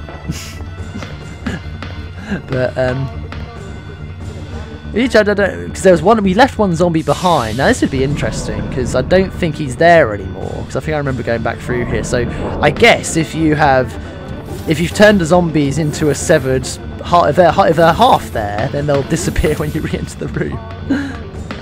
I could be wrong, but I don't hear anything. It seems pretty dead to me. There we go. So it's the last little bit. This is just going to form the vaccine. And what's good about this section is that it will um, it will become like your key item. So that will go in my lockpick slot because I just don't need the lockpick anymore. I've not needed the lockpick for ages. Um, and there we go. So that goes up there. We have quite a few health items. We should be good. Well, we know we're good because I've already said this is no safe playthrough. We know we know this is successful. So I'm, I'm great at the tension, aren't I? so, but doesn't change how sort of I do I, I I do find these these boss fights kind of unpredictable still. I'm still you see I although I play through Resident Evil 2, I do probably dabble in it at least once a year at least, I think. Um, and when I do dabble in it, I dabble in it quite hard, like I'll play through it multiple times. And certainly when it's on a PSP or portable system, it's uh, that's a slippery slope. Um, when I sort of commute and stuff, um, you know, you can play through games multiple times on those. I, I played through Final Fantasy VII infamously when I used to commute to London. Um, uh, that, that was quite satisfying actually, because it, it, gave me an opportunity to kind of replay and re um, re-love that game again. Um, which is good, which is something I just don't think I would have had the chance to do on the console anymore, uh, just because of the lack of time, really, um, and just being distracted by other commitments and all that sort of stuff. Um, yeah, so that's why yeah, port port portable gaming to me is the ideal place for RPGs. Yeah, nice but, so we're nearly there. We're going to um, final, final, final bit down the corridor. I didn't really touch on the fact that obviously Claire, both both Claire's and Leon's outfits will change through the game, which is a change from the original Resident Evil. Um, kind of neat. Yeah, doesn't seem like yeah, it doesn't really hold up particularly well nowadays. Doesn't really matter, really, does it? I don't know. I used to think that's kind of cool before. So, five minutes to go. Uh, well, we're obviously not five minutes to go of this commentary, but so basically, just end, go up to the elevator, get that ball rolling, and we will be in for a final boss fight. And I'm by this point, I am sweating, just thinking, am I going to make it or am I not? Because I have done so many playthroughs, particularly on PSP, where I have died here. So I've got all that way, done all of that effort, and then just died, as you do. Good. So the strategy I go with, that's William Birkin in his kind of new form. I go back far away. I've got the chemical rounds, and I'm just trying to just kind of wail on him really. And the idea is I try and get him to transform early if I can. I obviously I'm not successful here. I um. So it was just I was literally one hit away as well. So now he's transforming into like this kind of dog version of himself. And this is where he does get very unpredictable and quite a bit annoying. And um, I, I try and I try and play things a bit too safe, I think here, because what I try and do is I try to attack him um, when he's jumping up on the cylinders. So he's up on there. So he's going to do that now. Um, I check my health, of course, make sure I'm not dying, and I and I think I miss him. Um, no, I didn't do there actually. I did quite well there. I got two good hits in, but yeah, I I'm doing it here, but it's obviously having no effect. Um, so I'm going to try it here, and I think it completely missed him. So as you can see, it's not even hitting him; it's just hitting the side. So I'm just wasting ammo here. So I, I just kind of just thought I just go for the whole like oh I'll just try and, and this is a bad place to be. This is that is not sensible at all because that's where you get the just completely impaled, and that of course does drain the health. Even though it's in the radio caution, I'm still playing it very safe because of events that happened previously in the game uh, with the licker. So I'm trying to prevent anything, any any damage whatsoever. I'm just being careful. So I'm still okay. So I don't I don't think I yeah. And I've run out of ammo as well, so I have to switch over to the um, the regular one, which is not as not as good because it's uh, again you got to be too close to him. But I think I'm almost there. I've got um yeah, again I've got several. I'm I'm fine for health items, but and there we go. I did it. I know, so I was doing that the happy dance when that happened because it was just so satisfying. Because I was, I was, I was really panicking, thinking, "Oh God, I'm not going to do it. Oh dear, done all this, I've recorded all this footage, I'm going to die." and end up nothing to worry about. We were good. Um, and then all it is now is is pretty straightforward. We leave William to be, I don't know, be William. And uh, I guess really, when you play for this the first time, you're assuming you are really assuming that that's it. You don't. You, I don't think. uh, Definitely for me, you never. You're never assuming there's a scenario B. You never think there's another playthrough of the game. Um, so you would be right in thinking, oh, that's the end. And then you just you simply just run down the corridor, and the ending the ending stuff starts basically. And to be honest, as it was, as it is like this in scenario, I was, I was perfectly satisfied with the ending. And like most people, I put disc one in and I played through Leon A first because nobody told me that Claire A was the canon end, canon pathway. It doesn't matter at the end of the day. That's only for people that you know that I guess give a sod about the story, but but both both both scenarios are fine. It doesn't matter. Play the game you want to play it. Play the game the way you want to play it, guys. Um, certainly I think that you know if you if you're brand new to it, you know don't don't feel ashamed to put on like easy mode. Um, certainly the American version of the game has a like an arranged mode that gives you like just stocks you with weapons and ammo and makes that first playthrough very very easy. Um, and you know, and that, that to me is kind of part of the learning experience if you're getting into these games. Is that I, I that's how I certainly learned with a lot of my games. Is that I, I always played on easy mode first, just learn everything and get used to it, and then you bump up the difficulty when you're comfortable. You know, and then you just then you then you invent your own difficulty like I do here, and put and don't try to do no safe playthroughs. But yeah, the um, the music playing is certainly a nice relief after going through all of that. Um, I have to find and we're almost at two hours and a half. I guess that's because it's including the cutscenes as well, but we're This nearly is there. just the beginning. And my voice is just ready to just die. and then we just have a nice sweet moment between Claire and God Sherry, because that's what we you. had. And then um, will always be with I think I think I do show it in this footage that only when you kind of finish the game, the credits roll, and you get your score picture, do you see the see the opportunity to basically save the game, and then um, it will save um, and then start it as Leon B. Then you know, oh, there's another one. Now, what you might have done, I certainly did this when I was younger, um, is you know, if you don't have your memory card. you might have been a little bit screwed when that happened. Um, mostly because know we, we were quite prominent renters, really. But I, I don't. I said that just then, but I don't think I ever managed to successfully play through Resident Evil 2 without saving back then. That's silly, but but some people might have done. I'd say so. So obviously having your memory card is essential. Yeah. But I, I, I, very much like this uh, last bit of score that plays in the credits. It's just that lovely piece of calm. Um, I like it a bit more than the Rocky version they do in Scenario B's credits. Yeah, but yeah that, that is Resident Evil 2, a, a derpy um, no, safe playthrough from myself. Um, hope you've got. Hope you have enjoyed this commentary. I, I, don't, I don't know how well this is going to go down, but this was sort of just to make up for the. Because I said I know with the Sonic one I was going to do sort of regular ones, but again, it's just life just got in the way a bit. It happens. I'm not going to say it's not going to happen again moving forward. It might probably will, but you know, uh, they come out when they come out, I guess. But you know, if you you want to keep up with my my shenanigans, um, best place probably is to follow me on Twitter. I always link if there's new content there. But of course, do continue to follow GamingHistory101.com. Uh, for Fred is consistently putting out lots of fun content there and um, very very interesting stuff there as well, as well as obviously the podcasts are going there too. Um, and there's also our Discord, which I do highly recommend uh, to people, which I think is linked on the website gaminghistory1.com, where you can uh, chat to fine fellows. Um, it is, of course, moderated though uh, by Fred and myself. Of course, we, we only want like nice people there, which I'm sure you are. If you're if you're watching this, you probably are, because who's gonna who's gonna tune in to watch my stuff? But anyway, but, but yeah, but I hope you enjoy this playthrough. Yeah, give me some feedback if you want to. Yeah, if you want to see scenario B, if you want me to play through it. Um, um, if you want me to talk as I play through it, or if you just want me to comment on it af- afterwards, what you prefer. Otherwise, um, what I'm hoping to do, I do have other retro game nights already recorded, so I'll see if I can churn one out, um, another one out again for you very soon, and we'll go from there. But this has been Resident Evil 2. But of course, before we finish, we've got to see the results page. Because here it is. Uh, but this anyone that follows us on Discord would have already seen this results page. Um, I, I posted this up there, and of course I, posted my thumb injury as well. sort of like redness. I think people were not focused on the thumb; they're more focused on the thumb stick what that looked like. so. So yeah, you get after the credits are rolled, you get your results screen. It tells you how well you did. Um, as far apparently, according to the instruction manual, you can get an S ranking. I didn't actually know that. uh, which S apparently, according to the instructions, stands for superior. Um, I always always thought it meant special, but pff, whatever.